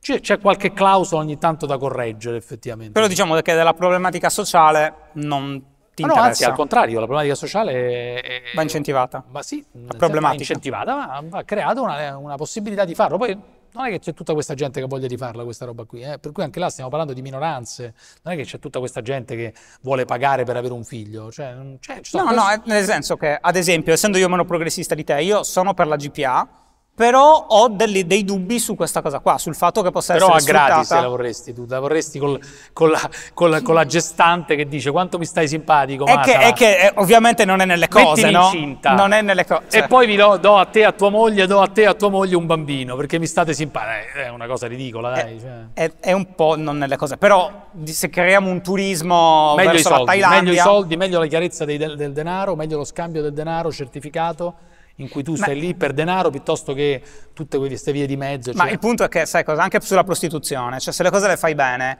eh, io, io sono d'accordo con la, se una persona Ragazzi, si vuole ma vi pare prostituire... normale che noi abbiamo in Austria o in Slovenia o in Germania o in Svizzera una miriade di turismo sessuale italiano e in Italia non c'è niente, varcato il confine italiano non c'è un cazzo.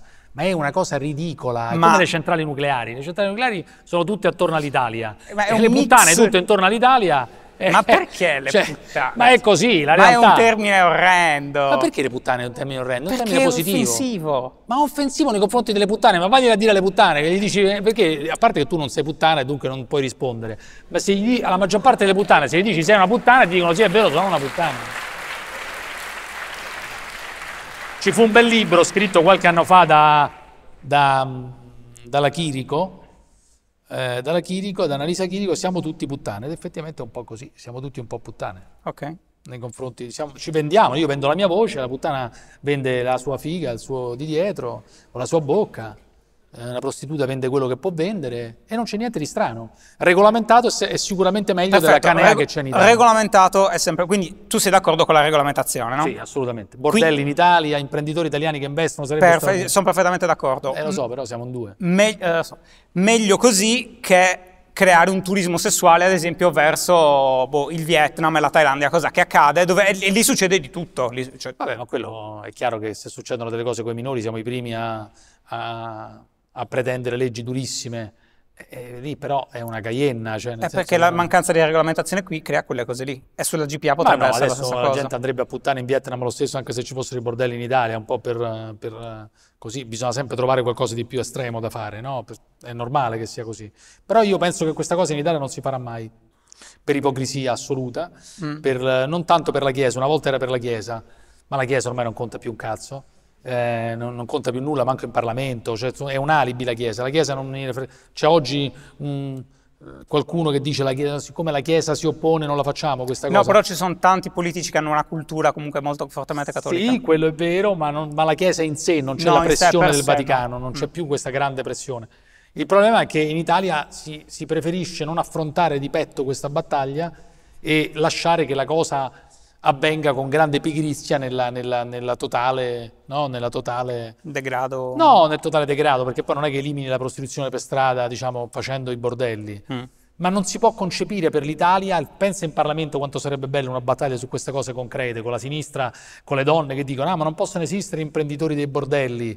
Io lo farei l'imprenditore di un bordello, se dovessi fare un altro mestiere, invece della radio farei imprenditore di un bordello, sarebbe straordinario. Ok. C'è un mio amico che gestisce, italiano, che gestisce due bordelli in Austria, il Welcome e, il, e l'Andiamo che si Salutiamo. chiama Christian, che è un trevigiano, Mhm. anzi no, uno di, sì, forse di Treviso, non mi ricordo se è di Treviso, no, di Udine, di Udine, perché poi sono tutti italiani, dunque noi esportiamo cervelli in questo caso, perché questo Eh, a voi. questa a è la vera esportazione dei Wow. cervelli. Eh, eh, quindi... Che, che lavora, che lavora in un bordello dove ci sono il 99% di clienti italiani. 99% di clienti italiani, però a 3 km dal confine italiano. Dimmi se questa qua non è un'ipocrisia, cioè un'ipocrisia spaventosa. Cioè se fosse 3 km dentro cosa cambierebbe? Nulla, cambierebbe il fatto che ci sarebbero proteste. Invece su queste cose bisogna fare una grande battaglia. La sinistra non la farà, perché la sinistra è diventata da questo punto di vista estremamente conservatrice. La farà la destra. Perché la destra purtroppo l'ha annunciato. Io una volta andai a firmare un referendum per l'abolizione della legge Merlin con Ah, sì? Efe Balle e Con con. Salvini. Ah. Insieme, pensa te che trio. Però erano oggettivamente improbabile, infatti la proposta di legge eh, non è stata manco presa in considerazione perché è la proposta di legge popolare, no? Sì. Andammo al comune di Milano, era il 2015, io, Efe Ball e Salvini, a firmare il referendum per l'abolizione della legge Merlin. Non so mai ricordo se erano i referendum o la proposta di legge per l'abolizione della legge Merlin. Perché ai tempi era una battaglia di Salvini, però ormai Salvini questa cosa l'ha persa. Adesso Eh, ma va in giro con Rosario. Madonne, i Rosari. Una cosa terribile, io glielo vorrei dire in faccia, non lo, non lo incontro da un po' di tempo, ma come cazzo fai ad andare in giro con i rosari? Ma con tutto il rispetto per i rosari. No, no, attenzione. Non mi equivocate, con tutto il rispetto per i rosari, perché ovviamente non è che voglio insultare chi è il rosario, tutt'altro, però Salvini che durante varie campagne elettorali espone il rosario come se fosse un qualcosa che politicamente vale, è stata una scena patetica, diciamo la verità, una scena patetica, ridicola, eh, che poi non, non- non corrisponde nemmeno alla sua vita, se vogliamo, no? Cioè, se Mhm. vuoi. Per cui, ma al di là di questo, che poi le contraddizioni ce l'hanno tutti, è bellissimo. Un uomo con le contraddizioni è meglio di un uomo verticale, sai? Un uomo con le contraddizioni, Mhm. con, mille, con mille contraddizioni esplicitate, chiare, non fi- finte, lo preferisco a uno che si dice tutto d'un pezzo, perché l'uomo tutto d'un pezzo nasconde qualcosa di terribile dentro. Mm. E l'uomo col- che ha delle contraddizioni, che non nega, Sì. è una persona che mi sta oggettivamente, per questo mi sta più simpatico Berlusconi di tanti altri che si proclamano, si proclamano, capito, invece tutti d'un pezzo, capito? Beh, una cosa è avere contraddizioni, una cosa è cambiare idea su tutto nel giro di Sì, cinque quello anni. è vero, Berlusconi è uno specialista di queste cose, però uno di quelli che dovrebbe fare una battaglia per la legalizzazione della prostituzione sarebbe stato Berlusconi, cioè, purtroppo, eh, cioè, purtroppo- E invece è esattamente il contrario, cioè mi stupisce un po' questa cosa che dice ah la sinistra sta roba non la fa, però non per difendere la sinistra che per carità, però eh, non mi sembra che il clima politico a destra in cui si sta dicendo no, però no, adesso togliamo anche l'aborto, purtroppo togliamo tutto. Purtroppo no, l'aborto no, non dire cazzate, nessuno vuole togliere l'aborto. E vabbè, dai, no, dai, no, dai. nessuno vuole togliere l'aborto, non c'è nessuna proposta di legge, mi batterei come un leone per la, su Non ho contro, dubbi, però, no, ma contro io- anche io qualsiasi tentativo di limitare, di limitare la legge sull'aborto. Io sono a favore di tutto, pillole, contro pillole, il giorno dopo, giorno prima, giorno durante, Mm. fra dieci giorni, so, qualsiasi artifizio possibile e immaginabile. E però no, la destra non vuole to- cancellare l'aborto, questa è una fake totale che viene spesso propagandata da persone che invece fanno delle battaglie finte contro le fake news. Mm. Eh, ma la destra non vuole cambiare l'aborto. Non, vuole cambiare la legge sull'aborto, l'ha detto chiaramente la Meloni. Non ho ma- detto che vuole cambiare legge sull'aborto. Vuole detto- dare dei soldi, anche se poi anche questa sarà una cazzata, che non verrà attuata, alle persone, e ce ne sono, che magari decidono di... che, che non, non- non- non- non vogliono avere figli per problemi economici. Quello sarebbe positivo. Non è sbagliato di per No, sé, è è difficile giusto. da realizzare, che poi non si capisce bene, Non si uno può dire mai. una cazzata, Sì, sì, sì. poi ripensarci, intanto incassi, cioè, non lo so come potrebbe funzionare. Sì, poi- ma io dico un governo che sta pensando di rendere universale un reato perché lo trova così odioso ed è comunque un reato che attiene a quel mondo della Lo trovo sbagliato, come sai, eh, No, reato, certo. reato universale, l'utero in affitto, poi che vuol dire? Cioè, che dovresti arrestare, arrestare le persone che vogliono fare l'utero in affitto, ne parlano, cose, mi sembra una roba tipo la legge di Putin contro la propaganda gay, un'altra Mm. cosa assurda, capito? Cioè, mh, però, eh, che vuoi fare? Ogni tanto, non è che la destra, cioè, io ogni tanto li voto, io ho votato tutti, cioè, ho votato Lega, ho votato, ho votato Berlusconi tante volte. Non ho mai votato la Meloni, devo dire la verità, però non, non- non mi vergognerei per niente a votarla, cioè, non mi vergognerei per niente, nella maniera più assoluta. Uno, poi questa fissazione che le persone devono essere identificate con, con quello che votano, no? Cosa- Se mi hai chiesto chi hai è una- votato, vabbè, ma tipo quello era un gioco tra 5 me e te, però attenzione, no, hai sbagliato. Cioè, non è che ti ho chiesto perché ti identifico poi con questa roba qua, Ok. attenzione, cioè, nel senso, le persone io non le identifico per chi votano, invece sono de- ci sono delle... David, per esempio, eh no, ma tu però votando in qualche modo ti identifichi nei valori, ma chi cazzo te l'ha detto? Io votavo Berlusconi nel mio collegio a Roma, mi ricordo, nel 94, perché volevo vedere la faccia di Occhetto il giorno dopo che aveva perso.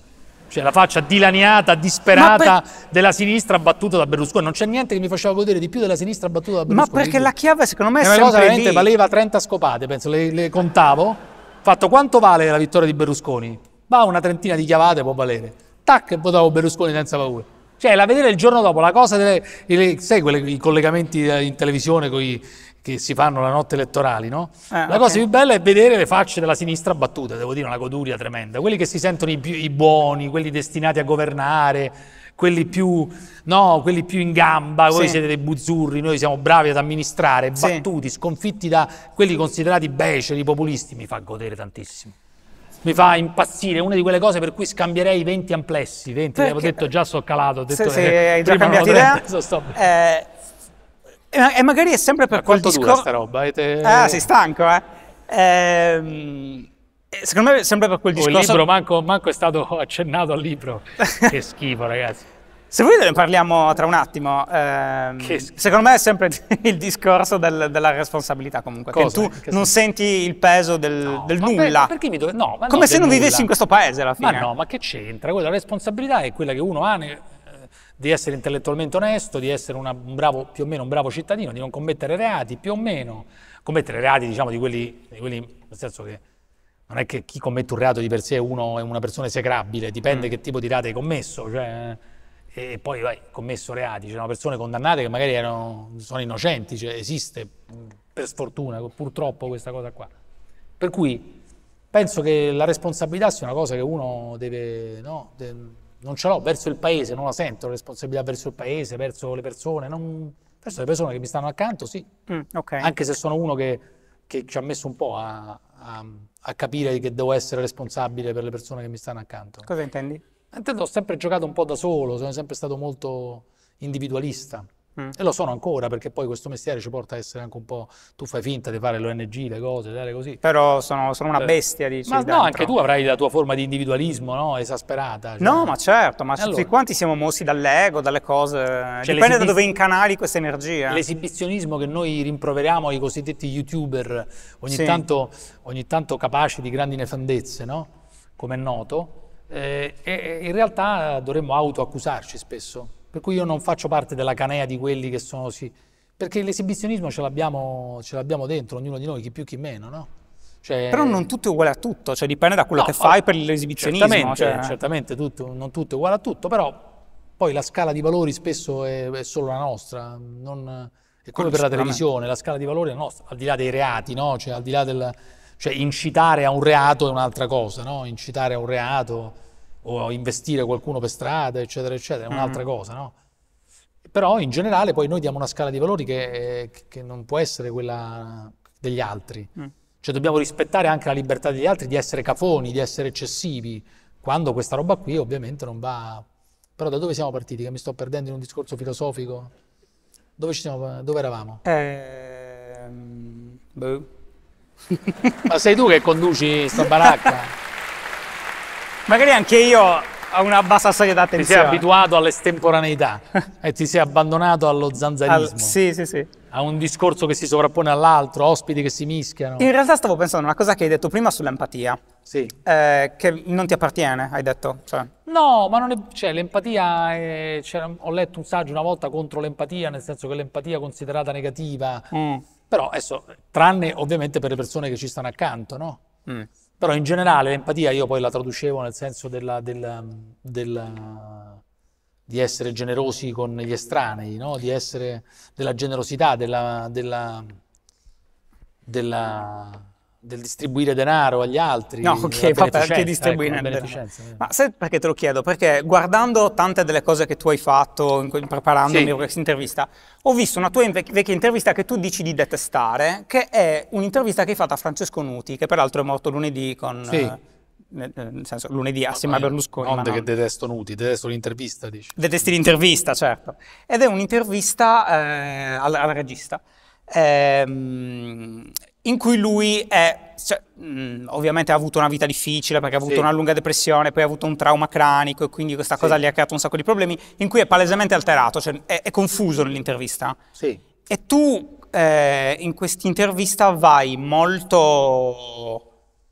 sei molto diverso dal solito, cioè Beh, sei molto ti metti spesso al suo livello, cerchi di ehm, chiudere l'intervista a un certo punto quando ti rendi conto che lui non è lucido, oppure cerchi di aiutarlo parecchio, sì. cioè fai degli sforzi empatici che io ho molto apprezzato. Io prima ho visto l'intervista e ho fatto, wow, che, cioè, che bella questa, questo aspetto di Giuseppe. Poi ho visto la tua intervista in cui tu hai fatto, no, no, no, ma quella intervista fa schifo, la rifacessi domani andrei in fondo, gli farei tutte le no, domande possibili. No, no, no, no, non ho detto così. Ho detto no, no, l'avrei, fatta, l'avrei fatta diversa ripensandoci come tutte le cose che faccio, quello fu un, un momento abbastanza drammatico perché, perché, io eredito quell'intervista da Sant'Almassi che conduceva quella trasmissione di mattina, ma stiamo parlando di vent'anni fa, sì.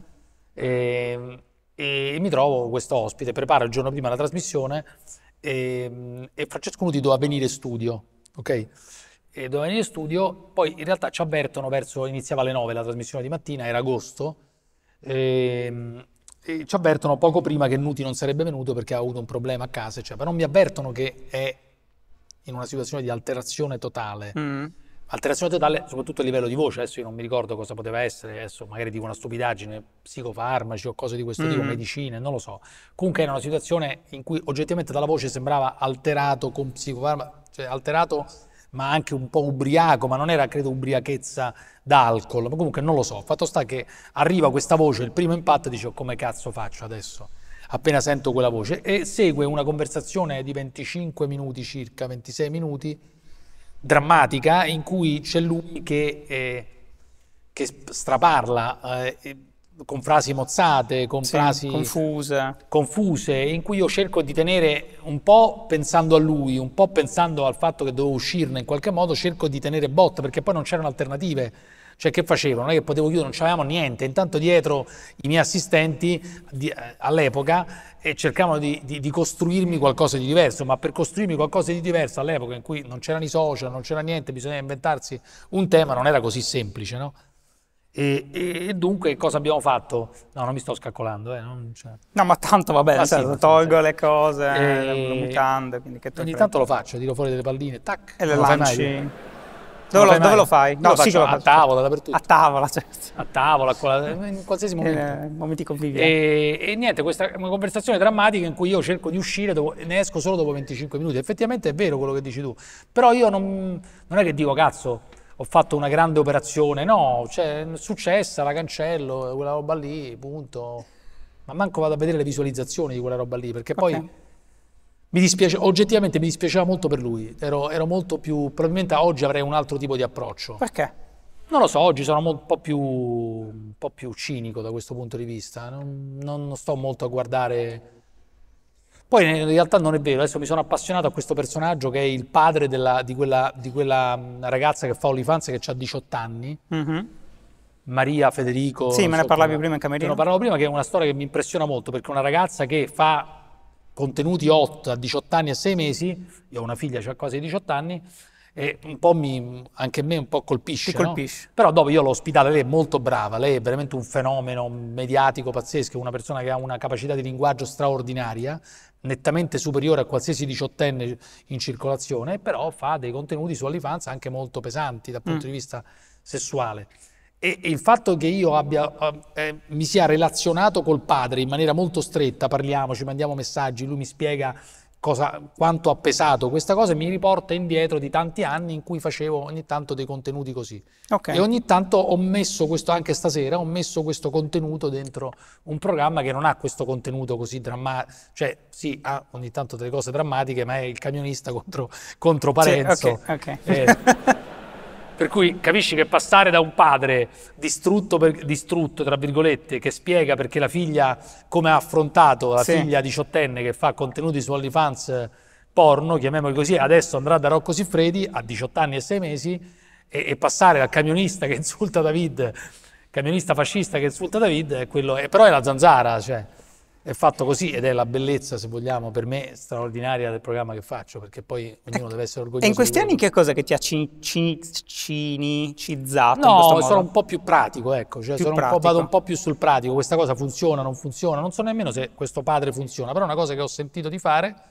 Infatti qualcuno mi hanno detto è lento, sì, adesso un po' sti cazzi, eh, cioè, bisogna essere... È la lento lui a parlare, eh. Sì, un po' le- lento a parlare, spiega, dunque devi stare un po' dietro, dunque dopo un po' magari il pubblico nostro può anche no, non essere pienamente contento, però in questo caso mi interessava di più questo- questa cosa scioccante di un padre, di un padre di fronte alla diciottenne che improvvisamente sceglie la strada di fare i contenuti. Molto intelligente, potrebbe fare qualsiasi cosa, l'ingegnere, e invece, e invece si, si- Ha deciso spo- di fare si spoglia cosa. davanti a OnlyFans, che è una cosa ovviamente scioccante per tutti, anche se io poi dico di essere uno che lascia la libertà, però poi non so quello che potrebbe accadere se mia figlia scegliesse una strada di questo tipo. Eh, questo è un elemento interessante perché poi tu, tu parli pochissimo di questa cosa. Ah, Anche sì, io sono perché molto parlo pro- pochissimo di mia figlia perché non voglio metterla in mezzo. Una volta l'ho Ah. fatto quando c'era lo sciopero a- al Manzoni di quelli che occupavano contro la Meloni, mi sono incazzato, un po' si è incazzata pure lei perché questi qua del collettivo del, del Manzoni insomma potevano prenderla di mira, ma non siamo più negli anni 70 per fortuna. Ah, ok. Per ok. cui insomma poi lei si, si era un po' irrigidita, allora un po' smesso. Non, non usi neanche le storie da padre, diciamo. Tipo, io sono molto No, protettivo non- della mia famiglia, però ogni tanto sono padre, quindi questa No, cosa. non la uso molto la cosa No. del padre, no, anche perché c'è poco da raccontare. Cioè, Mm, non- ok. Cioè non è che... No, non uso, no, non uso Non mia mai. figlia, anche perché poi no, mia ex moglie magari si incazzerebbe, non lo so come gestire. Mm, ok. C'è una cosa di gestione anche di per- gestione per, interna. evitare rotture di coglioni. Chiarissimo. Ok. La cosa principale nella vita è evitare rotture di coglioni. Sempre. Ok. E i soldi... E i soldi... È ipocrita chi dice che i soldi, no? I soldi sono molto importanti. I soldi sono fondamentali, ovviamente per campare bene, per, per esaudire i propri desideri, ma soprattutto per dire di no agli stronzi. Certo. Cioè, nel senso che dire di no alle persone che ti stanno sul cazzo o dire di no ad un lavoro o a una cosa che non ti piace, lo puoi fare solo se hai i soldi. Per cui, perché io esalto il modello della vendita anche, ovviamente non è che esalto il modello, perché penso che non ci sia nulla di male a vendere il proprio corpo come noi vendiamo la nostra voce? Perché se una persona riesce ad affrancarsi dal bisogno, Mm. Cazzo, ma questo qua è fondamentale. Una che, faccio un esempio, che con eh, OnlyFans o con piattaforme o con la, con la tradizionale prostituzione tipo escort si affranca dal bisogno Mm. è capace di dire no a tante cose che invece facendo altri mestieri eh, non lo può fare. Cioè io credo che questa roba qui, l'affrancamento dal bisogno in primis e soprattutto il fatto di poter dire di no a una cosa che non ti piace sia, sia essenziale per qualsiasi essere umano. E dunque se uno vuole vendere anche la propria coscia proprio di dietro, qualsiasi cosa, perché no? Cioè, non- Vero. A me- ovviamente fatto con senza essere costretto da un magnaccia, senza entrare in organizzazioni criminali, eccetera. O da un contesto, perché esiste anche quella roba lì. Essere anche costretto a fare quella roba lì, anche se non la vuoi fare, perché Eh, per quello però ho capito, ma eh, possiamo evitare che ci sia il bisogno materiale? C'è una persona che eh, sarebbe sai, un sacco di eh. prostitute Molto mi hanno welfare. raccontato di essere andate in crisi per- economica per mille motivi e di avere a malincuore per un periodo dato via la figa per denaro. Beh, non è bello. Eh, ho capito, non sarà bello, ma è una realtà, cioè non è bello. Che discorso ma ho capito che vuol dire cambiare il mondo? Questa era l'idea vecchia comunista, no? Cambiare il mondo. Ma non è comunista ma non è voler farlo. migliorare la, cioè, il- Ma sì, ma quella è un, tutti quanti, vogliamo- cioè è un'aspirazione di chiunque, no? E però le persone, esiste anche questo per migliorare la propria condizione economica, cioè dire eh, prostituirsi. Cioè, ma sai, la prostituzione Se è fatta, vuoi. cioè esiste la prostituzione intellettuale, esiste la prostituzione, cioè chi è che vuole fare, adesso dico, adesso non voglio fare esempi, se no si incazzano con me, Mm. cioè ci sono dei mestieri che oggettivamente nessuno vuole fare, diciamo la verità. Chiaro, Cioè, certo. c'è- cioè, chi è che vuole ehm, pulire il culo agli- alle persone? Adesso in generale non è una cosa bella che uno vuole fare. Poi ci sono quelle che lo fanno anche per missione, Mm. o perché, però non è una cosa bella che uno fa, no? No. Cioè, eh, oggettivamente. Non è che dici che vuoi fare nella vita? Eh, Ci sarà una minoranza, vuol dire pulire il culo a chi ha problemi. Eh, no, cioè, non lo vuoi fare per missione. Non è che noi cresciamo e dice che vuoi fare nella vita? Pulire il culo. No, non lo vuoi fare. Eppure c'è un sacco di gente, per fortuna che lo fa, no? Mm. Per fortuna. E però quella là è bisogno che te lo fa fare. E nello stesso modo c'è una che invece ha l'attitudine, il pensiero di fare la prostituta e lo fa. Cioè, e punto, Cioè, non pos- è una cosa che non possiamo eliminare. Certo, il mondo sarebbe no, straordinario se non ci fossero questi bisogni o se ci fo- non ci fossero le necessità, ma dobbiamo fare i conti col fatto che ci sono, c'erano, ci sono e ci saranno sempre.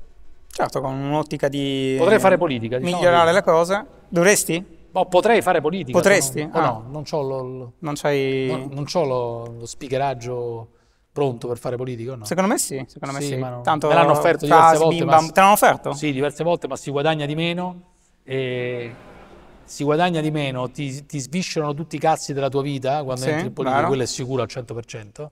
Adesso i conduttori radiofonici possono essere qualsiasi cosa, avere amanti, contramanti, avere trombare, non trombare, possono fare quello che vogliono, Sì. nessuno gli romperà mai i coglioni.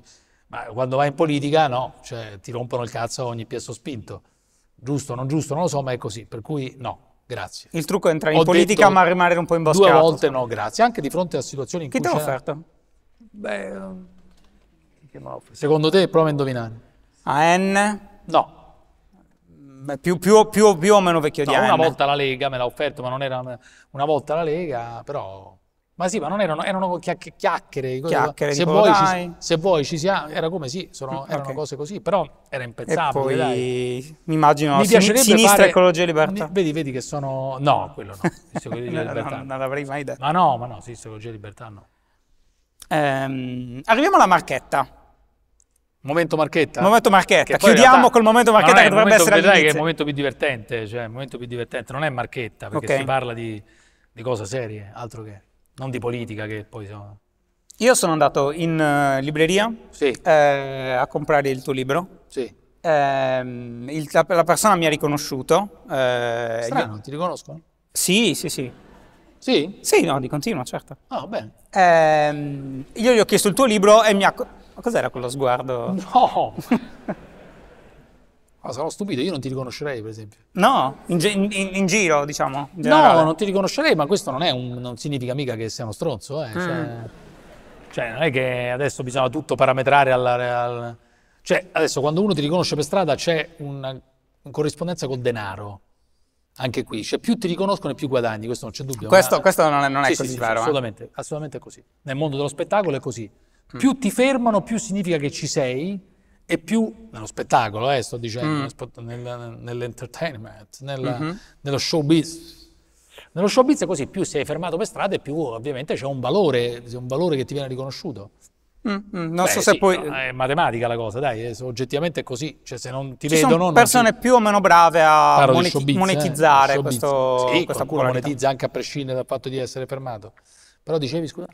Mi ha dato il tuo libro in cui sei tu In copertina, sì. nudo, in copertina. No, non sono nudo, sono... No, scherzo. Ho il petto nudo. C'hai sì, il petto faccio- nudo. È un po' la Jim Morrison. Ah, era proprio ispirata alla Jim Morrison? Cosa era ispirata? Mi sono messo così, molti hanno detto che è tipo Jim Morrison. Allora, l'ho visto nei meme, in effetti, ti ho messo, vi sto para- pa- Però- paragonato. Ma non era per paragonarmi. Ma in una stanza con te Jim Morrison. Mm. Su 10 donne.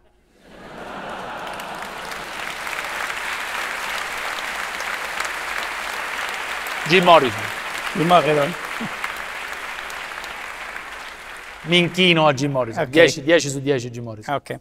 Ma sì, perché poi magari, non so, dal punto di vista prestazionale, non lo so. Mm. Ah, vai, vabbè, no, mamma mia.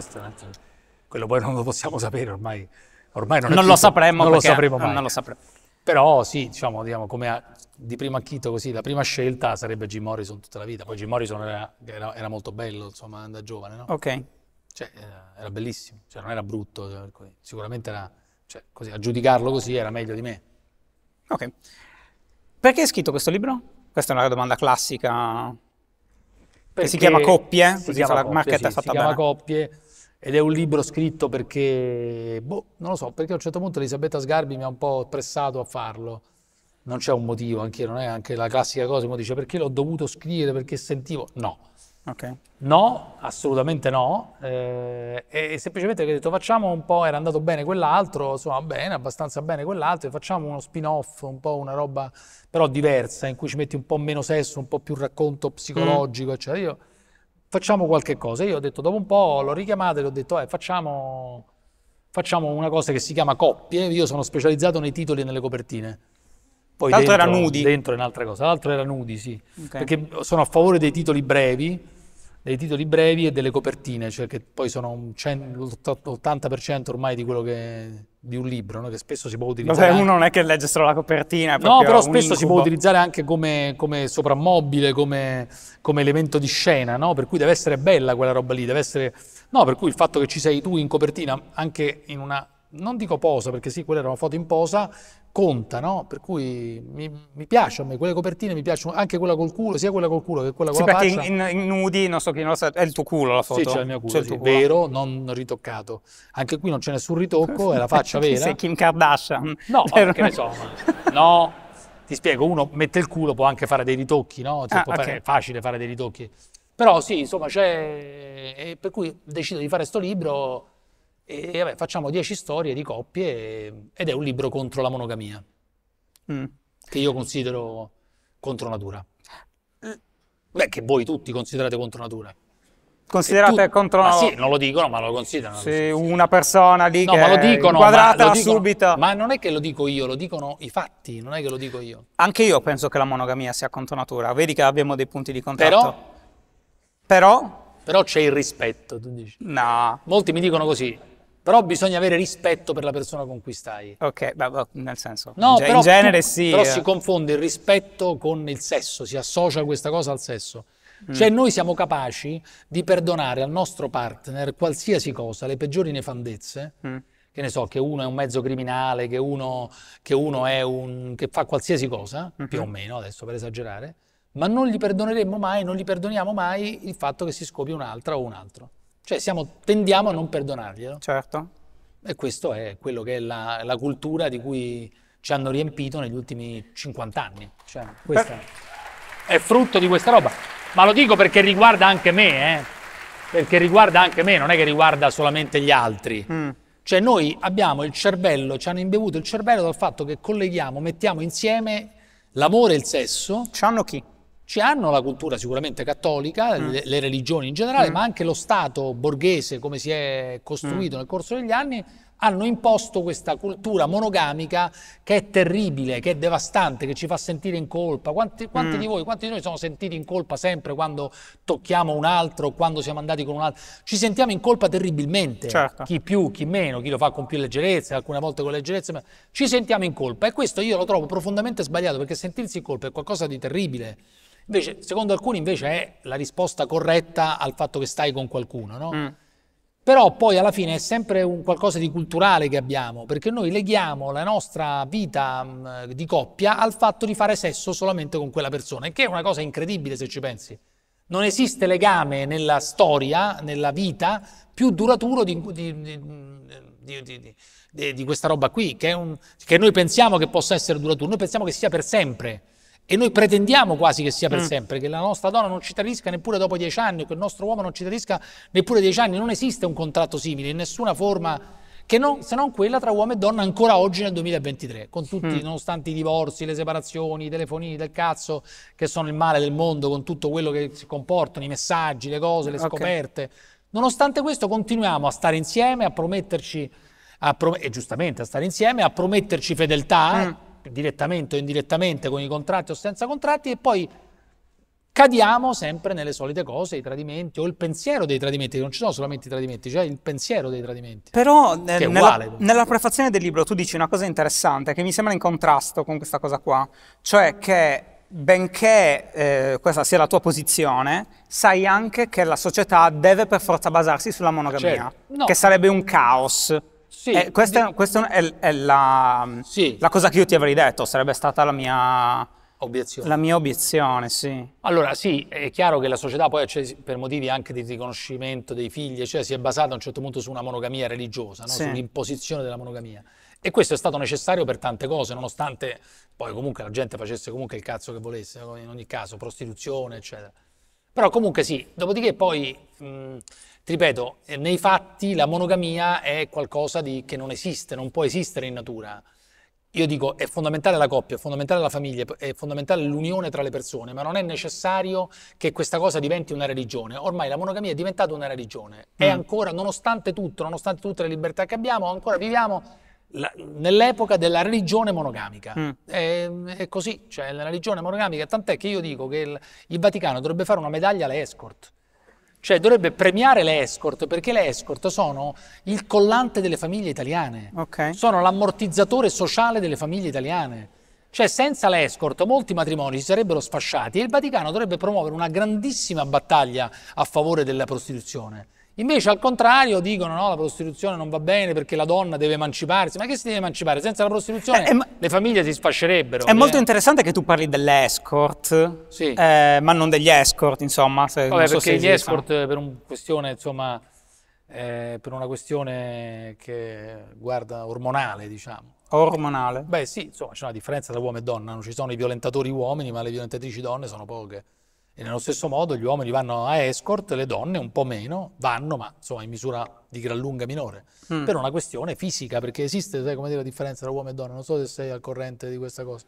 Ma, eh, cioè nel senso che uomo e donna, al contrario di quello che dicono, sono, sono, abbastanza diversi uomo e donne. Esistono okay. ancora uomini e donne, poi certo ci sono tutte le Ah no, non, cioè, no, vabbè, non, non incanaliamoci. Ah, okay.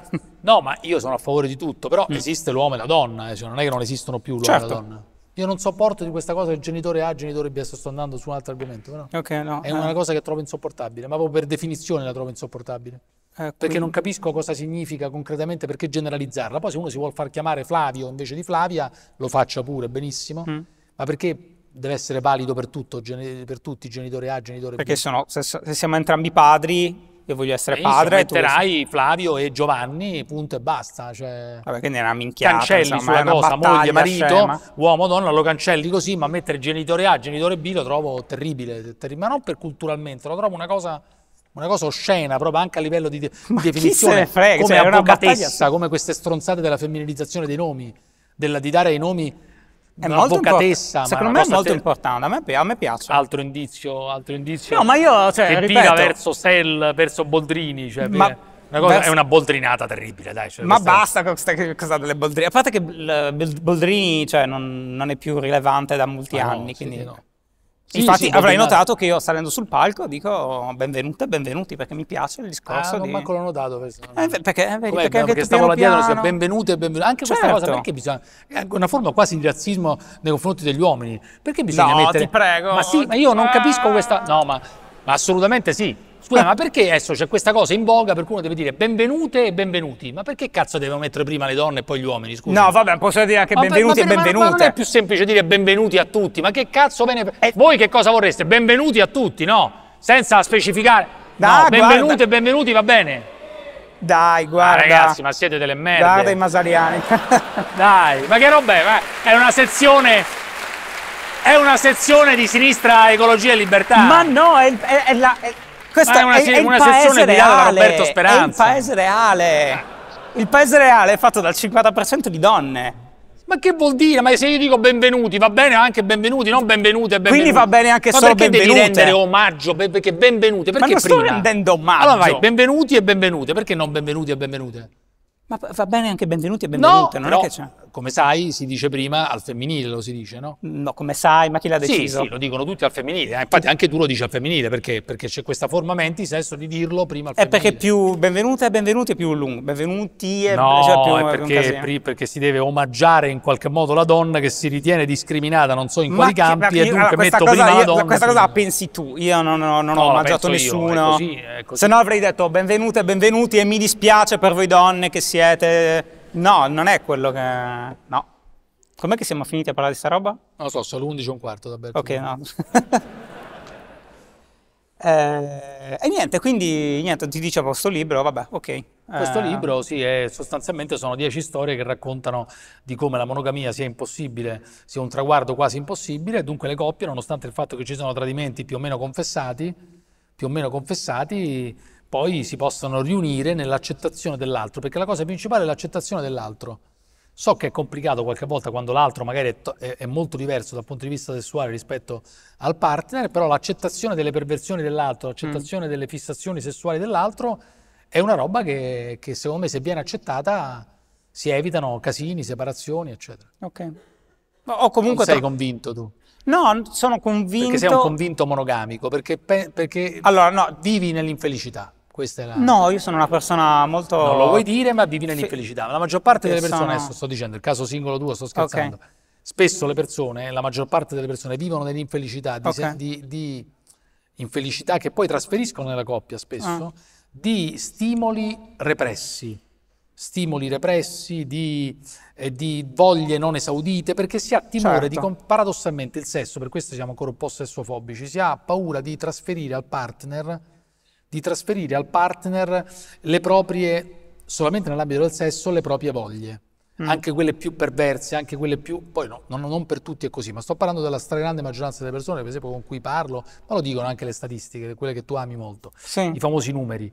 Eh, cioè uno ha paura, di, che è un paradosso, di confessare le cose più ardite sessualmente o anche solo dei desideri, anche il desiderio di un altro, Sì. al proprio parte, che in teoria è la persona più vicina a te, che ti dovrebbe capire di più. In realtà le coppie più giovani questa cosa la fanno molto di più, c'è molta più Sì, le apertura. coppie più giovani però sono quelle che si controllano anche molto di più perché ormai con i telefonini eh, sono molto bravi e dunque si, tu metti, me- la cosa più terribile, perché hai messo un like a quello? Ma quelle sono Ma sono situazioni cose agghiaccianti. Perché agghiaccianti, segui certo. quello su Instagram? Altro- lo seguo perché ca- che cazzo ne so. Ma quello, cioè, magari lo fanno le volta, persone molto ah, giovani lo segui che perché hanno- te lo vuoi scopare o perché dietro o perché ti piace. Capisci la follia? Vabbè, ma no? quando c'hai 20 anni è anche No, ma normale che- che, ma c'è succede sta pure a roba qua, 50, dai. te lo Ah, qua, vabbè, questo so. 50. Però ti posso dire una cosa, io ovviamente non faccio statistica perché è il mio caso singolo, però io ho avuto un lungo periodo nel quale ero estremamente libertino, moltissimo, e non è un periodo della mia vita che io ricordo come felice. Vabbè, quello però sono cazzi tuoi. E nel senso mi diceva tu sei monogamo. No, eh. ma nel senso che benissimo, cioè il libertinaggio, il libertinaggio è... poi dipende che tipo di libertinaggio, insomma. No, tu mi dai, tu mi dai poco, mi dai poco credito su questa cosa. eh. No, Cioè, no, no, io sono no, non ti do credito, assolutamente penso do poco credito, penso che non lo ricordi come periodo felice perché è un periodo tormentato magari. Perché è un periodo E poi è tormentato, faticoso, molto e instabile. poi è faticoso, Eh, perché in realtà C- certo. la monogamia è, è comoda. Eh, cazzo, il libertinismo è una fatica tremenda, cioè bisogna reggere prestazioni, eh, avere a che fare con persone eh, diverse, e hai scovato male, e perché non ti tira, e perché così, e perché giù, e perché come... Però con me... Il libertinaggio è un mestiere, è una roba faticosa.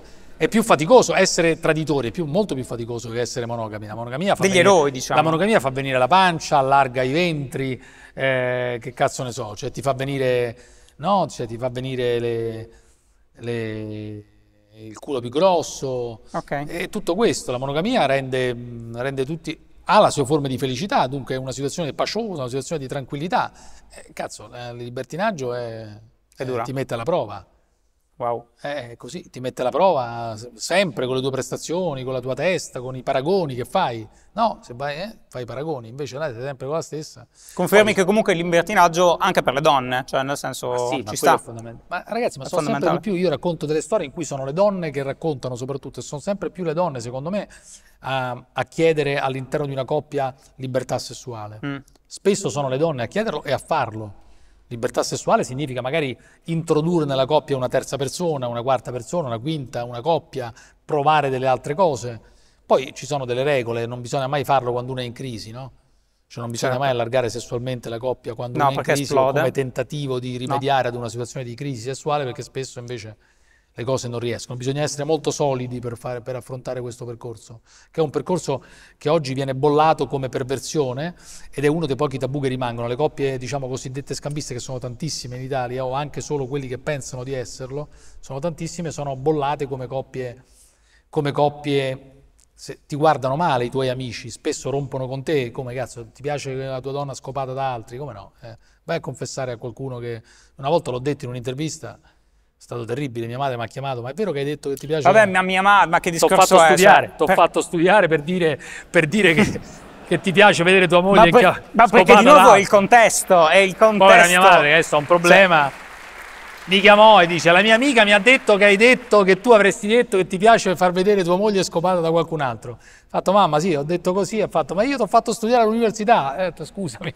Ma, quindi capisci che il, ovviamente il contesto, però io non conosco amici che mi abbandonerebbero se dicessi guarda no, che... Però, però, non lo sai, no, ti abbandonerebbero adesso è successo ad alcune donne, alcune coppie che ho intervistato, mm. però che ti guardano non bene sicuro, che ti guardano come un qualcosa di, estraneo alla normalità, ecco, mm. di non, che ancora non è totalmente accettato. Okay. Eh, questo è sicuro al 100%. Comunque tu li guarderesti in maniera strana perché avresti sempre in testa questa cosa quando ti relazioni a quelle persone. Chissà che hanno fatto ieri sera. No. Chissà se lei cioè io quando incontro è degli stata amici... scopata da un altro e come. Ma C'è perché? Sempre, ci, Ma perché è così? Perché, la norma, perché è così? Ci sarebbe, perché non li conosci perché non, vedi, non li conosci, conosci una tua coppia di amici che, ehm, che, che ma io quando incontro degli amici stiamo giocando a uno, dire. non è che li sto immaginando mentre tromba. Magari lo sai anche tu, non me lo dici, ma è normale che tu non lo dica, perché c'è il tabù di questa roba qui. No, ma io non ne ho tabù, io sono a posto. Però, non tabù. Senso... Vabbè, qualcuno che ti conosce li ha e non te lo Ma se io adesso ti incontro con la tua compagna, quella che è, io non è che la prima cosa che faccio vi immagino... Non... Io sì, immagino sempre due. Se, continuamente. Ok. Io quando incontro due in una coppia penso sempre a come possa essere l'incastro del sesso. Ok. Due persone come scopano, come si... sia una donna come è fatta, se c'hai peli, se non c'hai peli. Cioè, sai, c'è la classica divisione pelo non pelo, no? La conosci questa La mia classica mia. nel senso, ok. Zanzara classic ah, si potrebbe dire. Sì. Zanzara classic di qualche tempo fa quando le prime volte che mi rompevano il cazzo lì eh, in Confindustria su queste cose qui, ma non puoi parlare del pelo di figa perché eh, ma tu come, perché, devo farti un'altra domanda, ma rispondi al volo a questa. Perché tu hai questa libertà? Perché fai un sacco di ascolti? Uh, sì, okay. eh, perché all'inizio forse nessuno notava questa, queste cose qui, Difficile pochi notavano. Eh no, non notava all'inizio, c'è stato tutto un processo in cui, abbastanza repentino, in cui poi a un certo punto c'erano dei successi di ascolto e di altre cose, per cui alla fine ci hanno fatto andare su, una, su un percorso di estrema libertà che effettivamente è è abbastanza... Noi ci sentiamo anche un po' a disagio ogni tanto quando andiamo a Trento al Festival dell'Economia, no? Sì, no, infatti uh, me lo immagino. Certo. In mezzo ai premi Nobel. Eh sì. In mezzo ai premi Nobel, poi arrivano questi due che portano le marchi, no? Mm. Vanna Marchi e la figlia sì, lì. Sì, sì, ho visto, ho visto. Eh, cosa Mamma meravigliosa. Mia. Peccato Critica- che non si possa più dire niente. Criticata. Perché... Beh, no, ma mm, eh, non si possa più dire niente. Eh, eh, cosa criticata il giorno dopo quando ci sono state delle piccole polemiche, purtroppo piccole, di gente, ma come mai la Marchi, la Marchi, Vanna Marchi, personaggio straordinario. Ma su via, no, vabbè. Cioè... Vanna Marchi.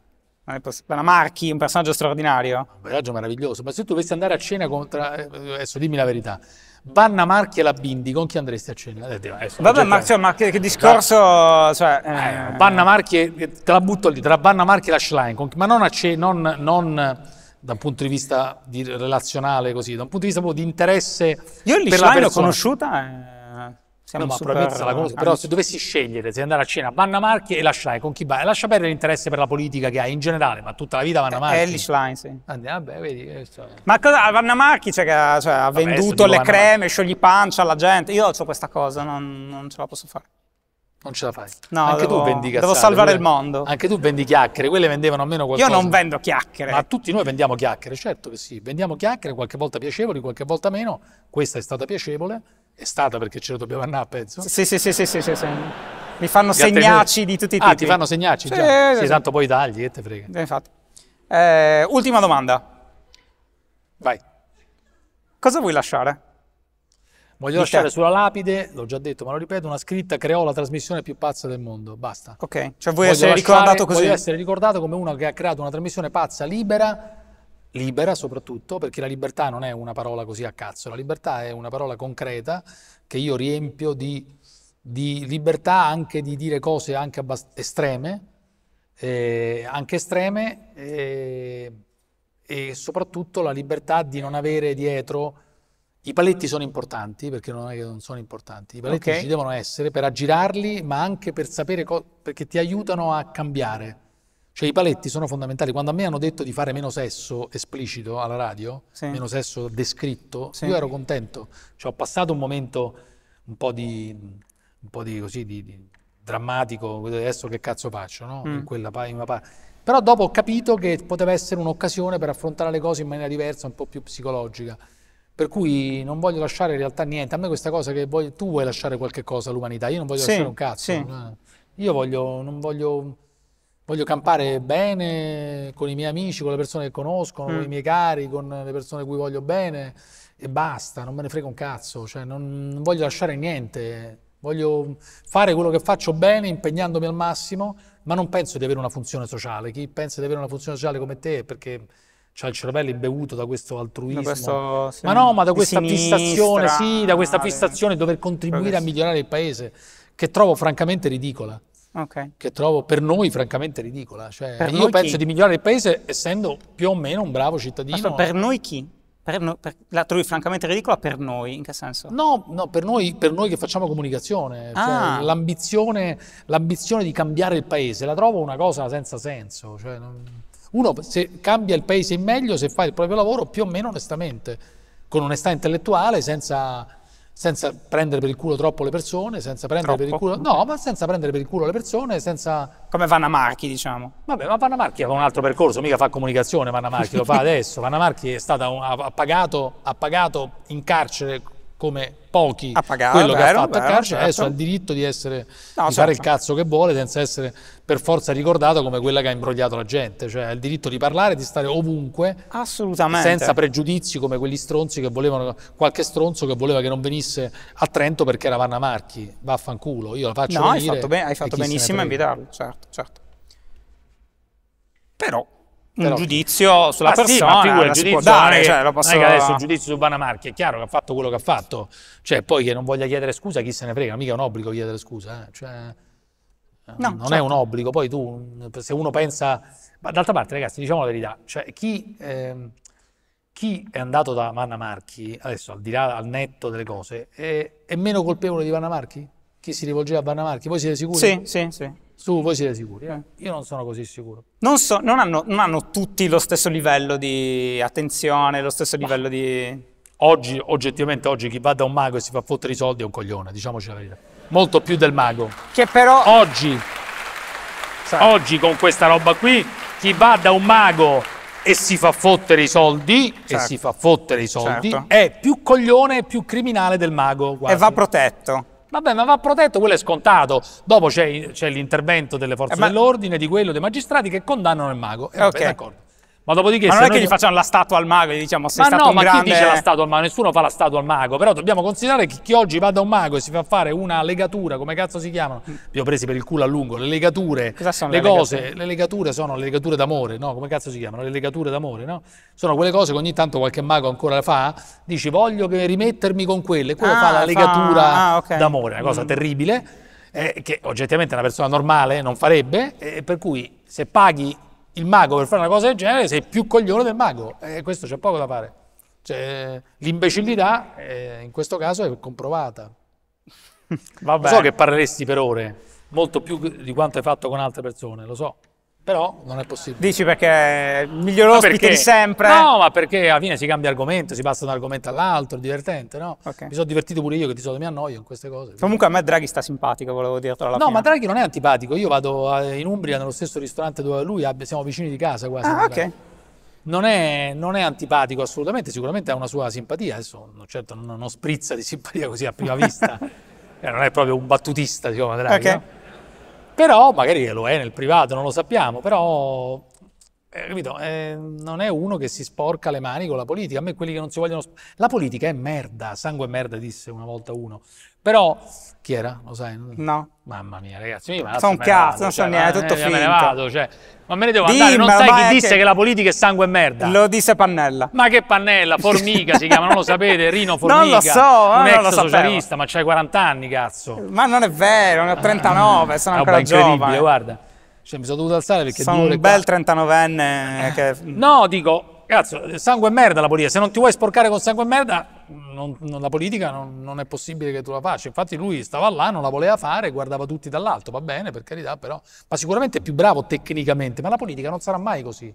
La politica è fatta di zozzerie, di promesse, di gente che dice prometto, prometto, un mio amico, mio amico dice sempre che, tra l'altro credo che sia qua, e tu prometti, prometti, lo diceva per le donne, no? Rivolto alle donne. Però è, è uguale, la politica è la stessa cosa, è un promettere continuo. È un promettere continuo. Sì, ma è così, è inutile, è inutile che fai il, il precisino. La politica è promesse spesso non mantenute. No, oh, sì, Per certo. cui uno dovrebbe votare in teoria per quello che si avvicina un. che hai, pensi che possa avvicinarsi alla- a realizzare qualche Sì, cosa. però io dico, tu adesso all'ultimo hai votato Berlusconi che diceva mettiamo un milione di alberi, eh, diamo Ma la- sì, il coso, le casalinghe, cioè, ma, ma, è certo, ma sono fuori dal mondo. inaudite. Ma certo. Ma sono puttanate, sono convinto, anch'io sono puttanate, però è bellissimo uno che dica, ancora dica, Ma voglio mi- mettere un milione di alberi in Italia. Ma tu stupendo, sei- È una cosa talmente bella che lo voto, più di quelli che fanno i seri. Ma è terribile, Voto sei- quello per così, perché, perché cazzo, perché Berlusconi. Ma sei come che il ancora meme del lì a cane, quello che 85 beve anni. con le fiamme. L'hai mai visto il Ma meme certo, del cane ma uno che ha beve con le fiamme? 85 anni ancora combatte così, io solo per quello lo voto col sangue, non hai capito ancora? Cioè, uno che ha 85 anni ancora sta sul pezzo così a, a inventarsi uno slogan, perché, ma perché gli altri non li fanno gli slogan? No, ma certo, ma certo. Eh, non li fanno gli slogan, dimmi uno slogan, tu non te ne ricordi, ti ricordi questo, vedi, ma non ti ricordi uno slogan di Letta. Te ne ricordi uno di Letta? Non te lo ricordi uno slogan di Letta. Vabbè, è Significa stata una che non sono devastante. capaci. Mamma che me ne frega è di lei, io non sono qua a difendere No, Letta, dire, cosa me ne no, importa di Letta. che tu difen- Non me ne ricordo uno, almeno di quello ti ricordi che diceva che voleva fare un Però il fatto che diventi tutto uno slogan, secondo me, c'è Ma stato un è momento così. in cui tu pensavi che il mondo si potesse Sì, cambiare? Sì, ok. sicuro, quando erano i radicali tanti anni fa, sì. Ok. Certamente sì, per piccole battaglie. pens- no, il mondo no, ma pensavo di poter... Che uno, qualche cosa di ideale l'ho fatta nella vita. eh. E quindi eh, poi questa cosa... Poi ho pensato sempre basta. più ad altre cose. Altre cose. Beh, una è abbastanza evidente. E l'altra, il calcio, mi piace moltissimo. Poi ho sostituito, diciamo, la radio. La radio è diventata la cosa primaria. Una cosa primaria. Poi, E poi Mario Giordano. eh, No, no, Mario Giordano no. è un'altra passione. Mario diciamo. Giordano non è una passione, quella è la passione per i prodotti, per i prodotti originali. Ok. Giuseppe, grazie, è stato Grazie divertentissimo. Giuseppe Cruciani.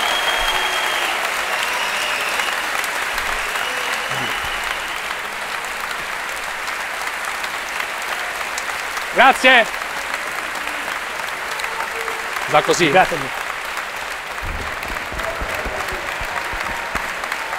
Viva Breaking Italy! Viva la libertà! Viva i podcast! Bene, Aspetta, me...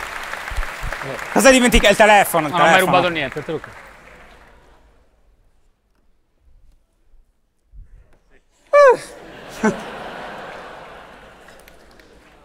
Com'è andata?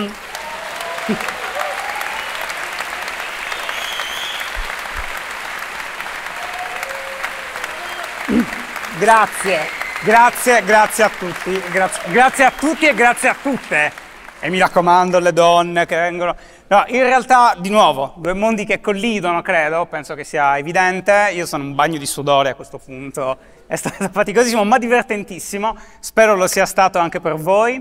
Quindi vi ringrazio per essere venuti a ascoltare qualcuno che appunto è fuori dalla bolla, almeno non lo so, in realtà ho visto che molti di voi erano molto addentro a tutte le dinamiche di meme, delle cose interne, quindi magari non così tanto come, come mi sarei aspettato.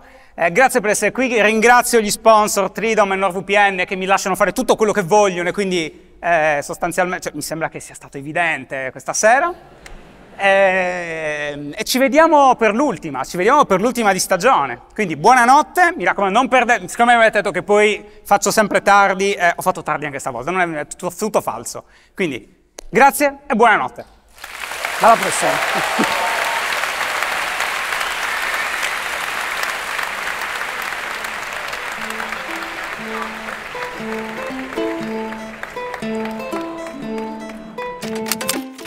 Bene, partito. Ciao a tutti ragazzi e ragazze e pubblico del Breaking Italy Night, io sono Gabriele, sono quello che in genere sta dietro la telecamera di tutti i backstage che avete visto di tutte queste puntate. Oggi invece ho deciso di essere io ad accompagnarvi e farvi vedere come prepariamo questo podcast e come ci prepariamo per ogni singola puntata. Andiamo e buon divertimento! Ottimo, come prima cosa partiamo dalla location. Come molti di voi sapranno siamo al Teatro Carcano a Milano. Il teatro ospita circa mille persone e è veramente fantastico. Ma adesso andiamo a vedere un attimo cosa stanno facendo i vari ragazzi e come si stanno preparando. Ok, partiamo dal reparto camere. Nel reparto camere abbiamo Nico e Paolo, i due ragazzi che ad ogni puntata preparano e settano le varie camere che utilizziamo con le varie lenti e tutto quanto. In più vanno a collegare dei videotrasmettitori wireless che permettono alla regia di vedere in tempo reale ciò che vedono le varie camere e quindi controllare che tutto vada bene nel mentre della registrazione del podcast. Per quanto riguarda invece il reparto luci, abbiamo il nostro Giovanni, che è colui che si occupa di settare e di preparare la scenografia a ogni puntata. Questa scenografia è composta da diverse luci che vengono utilizzate sia per dare eh, un po' di colore alla scenografia che dare qualche punto luce. Passiamo adesso alla regia. Entriamo un attimo nella nostra regia dove troviamo il nostro Alberto Seghezzi. Qual è il compito di Albi? In pratica da questa postazione Albi va a controllare tutto quanto quello che è i puntamenti e le varie camere. Adesso i ragazzi infatti stanno facendo i vari puntamenti, ovvero Albi va a correggere tutti i vari punti camera in modo da essere pronti e operativi per quando inizierà la puntata. Bene ragazzi, ci siamo quasi. Cosa manca adesso? Adesso manca la parte audio, fondamentale. È arrivato Ale, è arrivato l'ospite. Cosa succede? Il nostro tecnico audio va a microfonare e si vanno a fare i vari test, sia in sala che in registrazione. Questo perché durante la puntata non possono esserci scherzetti dal punto di vista dell'audio. Quindi ora finiamo con questa parte, ci rilassiamo un attimino con la cena e poi si inizia con la puntata. Bene ragazzi, la puntata è stata fatta, le cose sono andate super bene, vediamo il nostro audio engineering, che cosa dice? È andata, è andata? È stata un 100-100 inizio fine, cioè è stato dritto per dritto. No, è andata veramente bene, siamo tutti super contenti. Penso che anche Ale sia molto contento di come è andata. Super vero? contento, super contento. Come è andata ragazzi? Giovanni?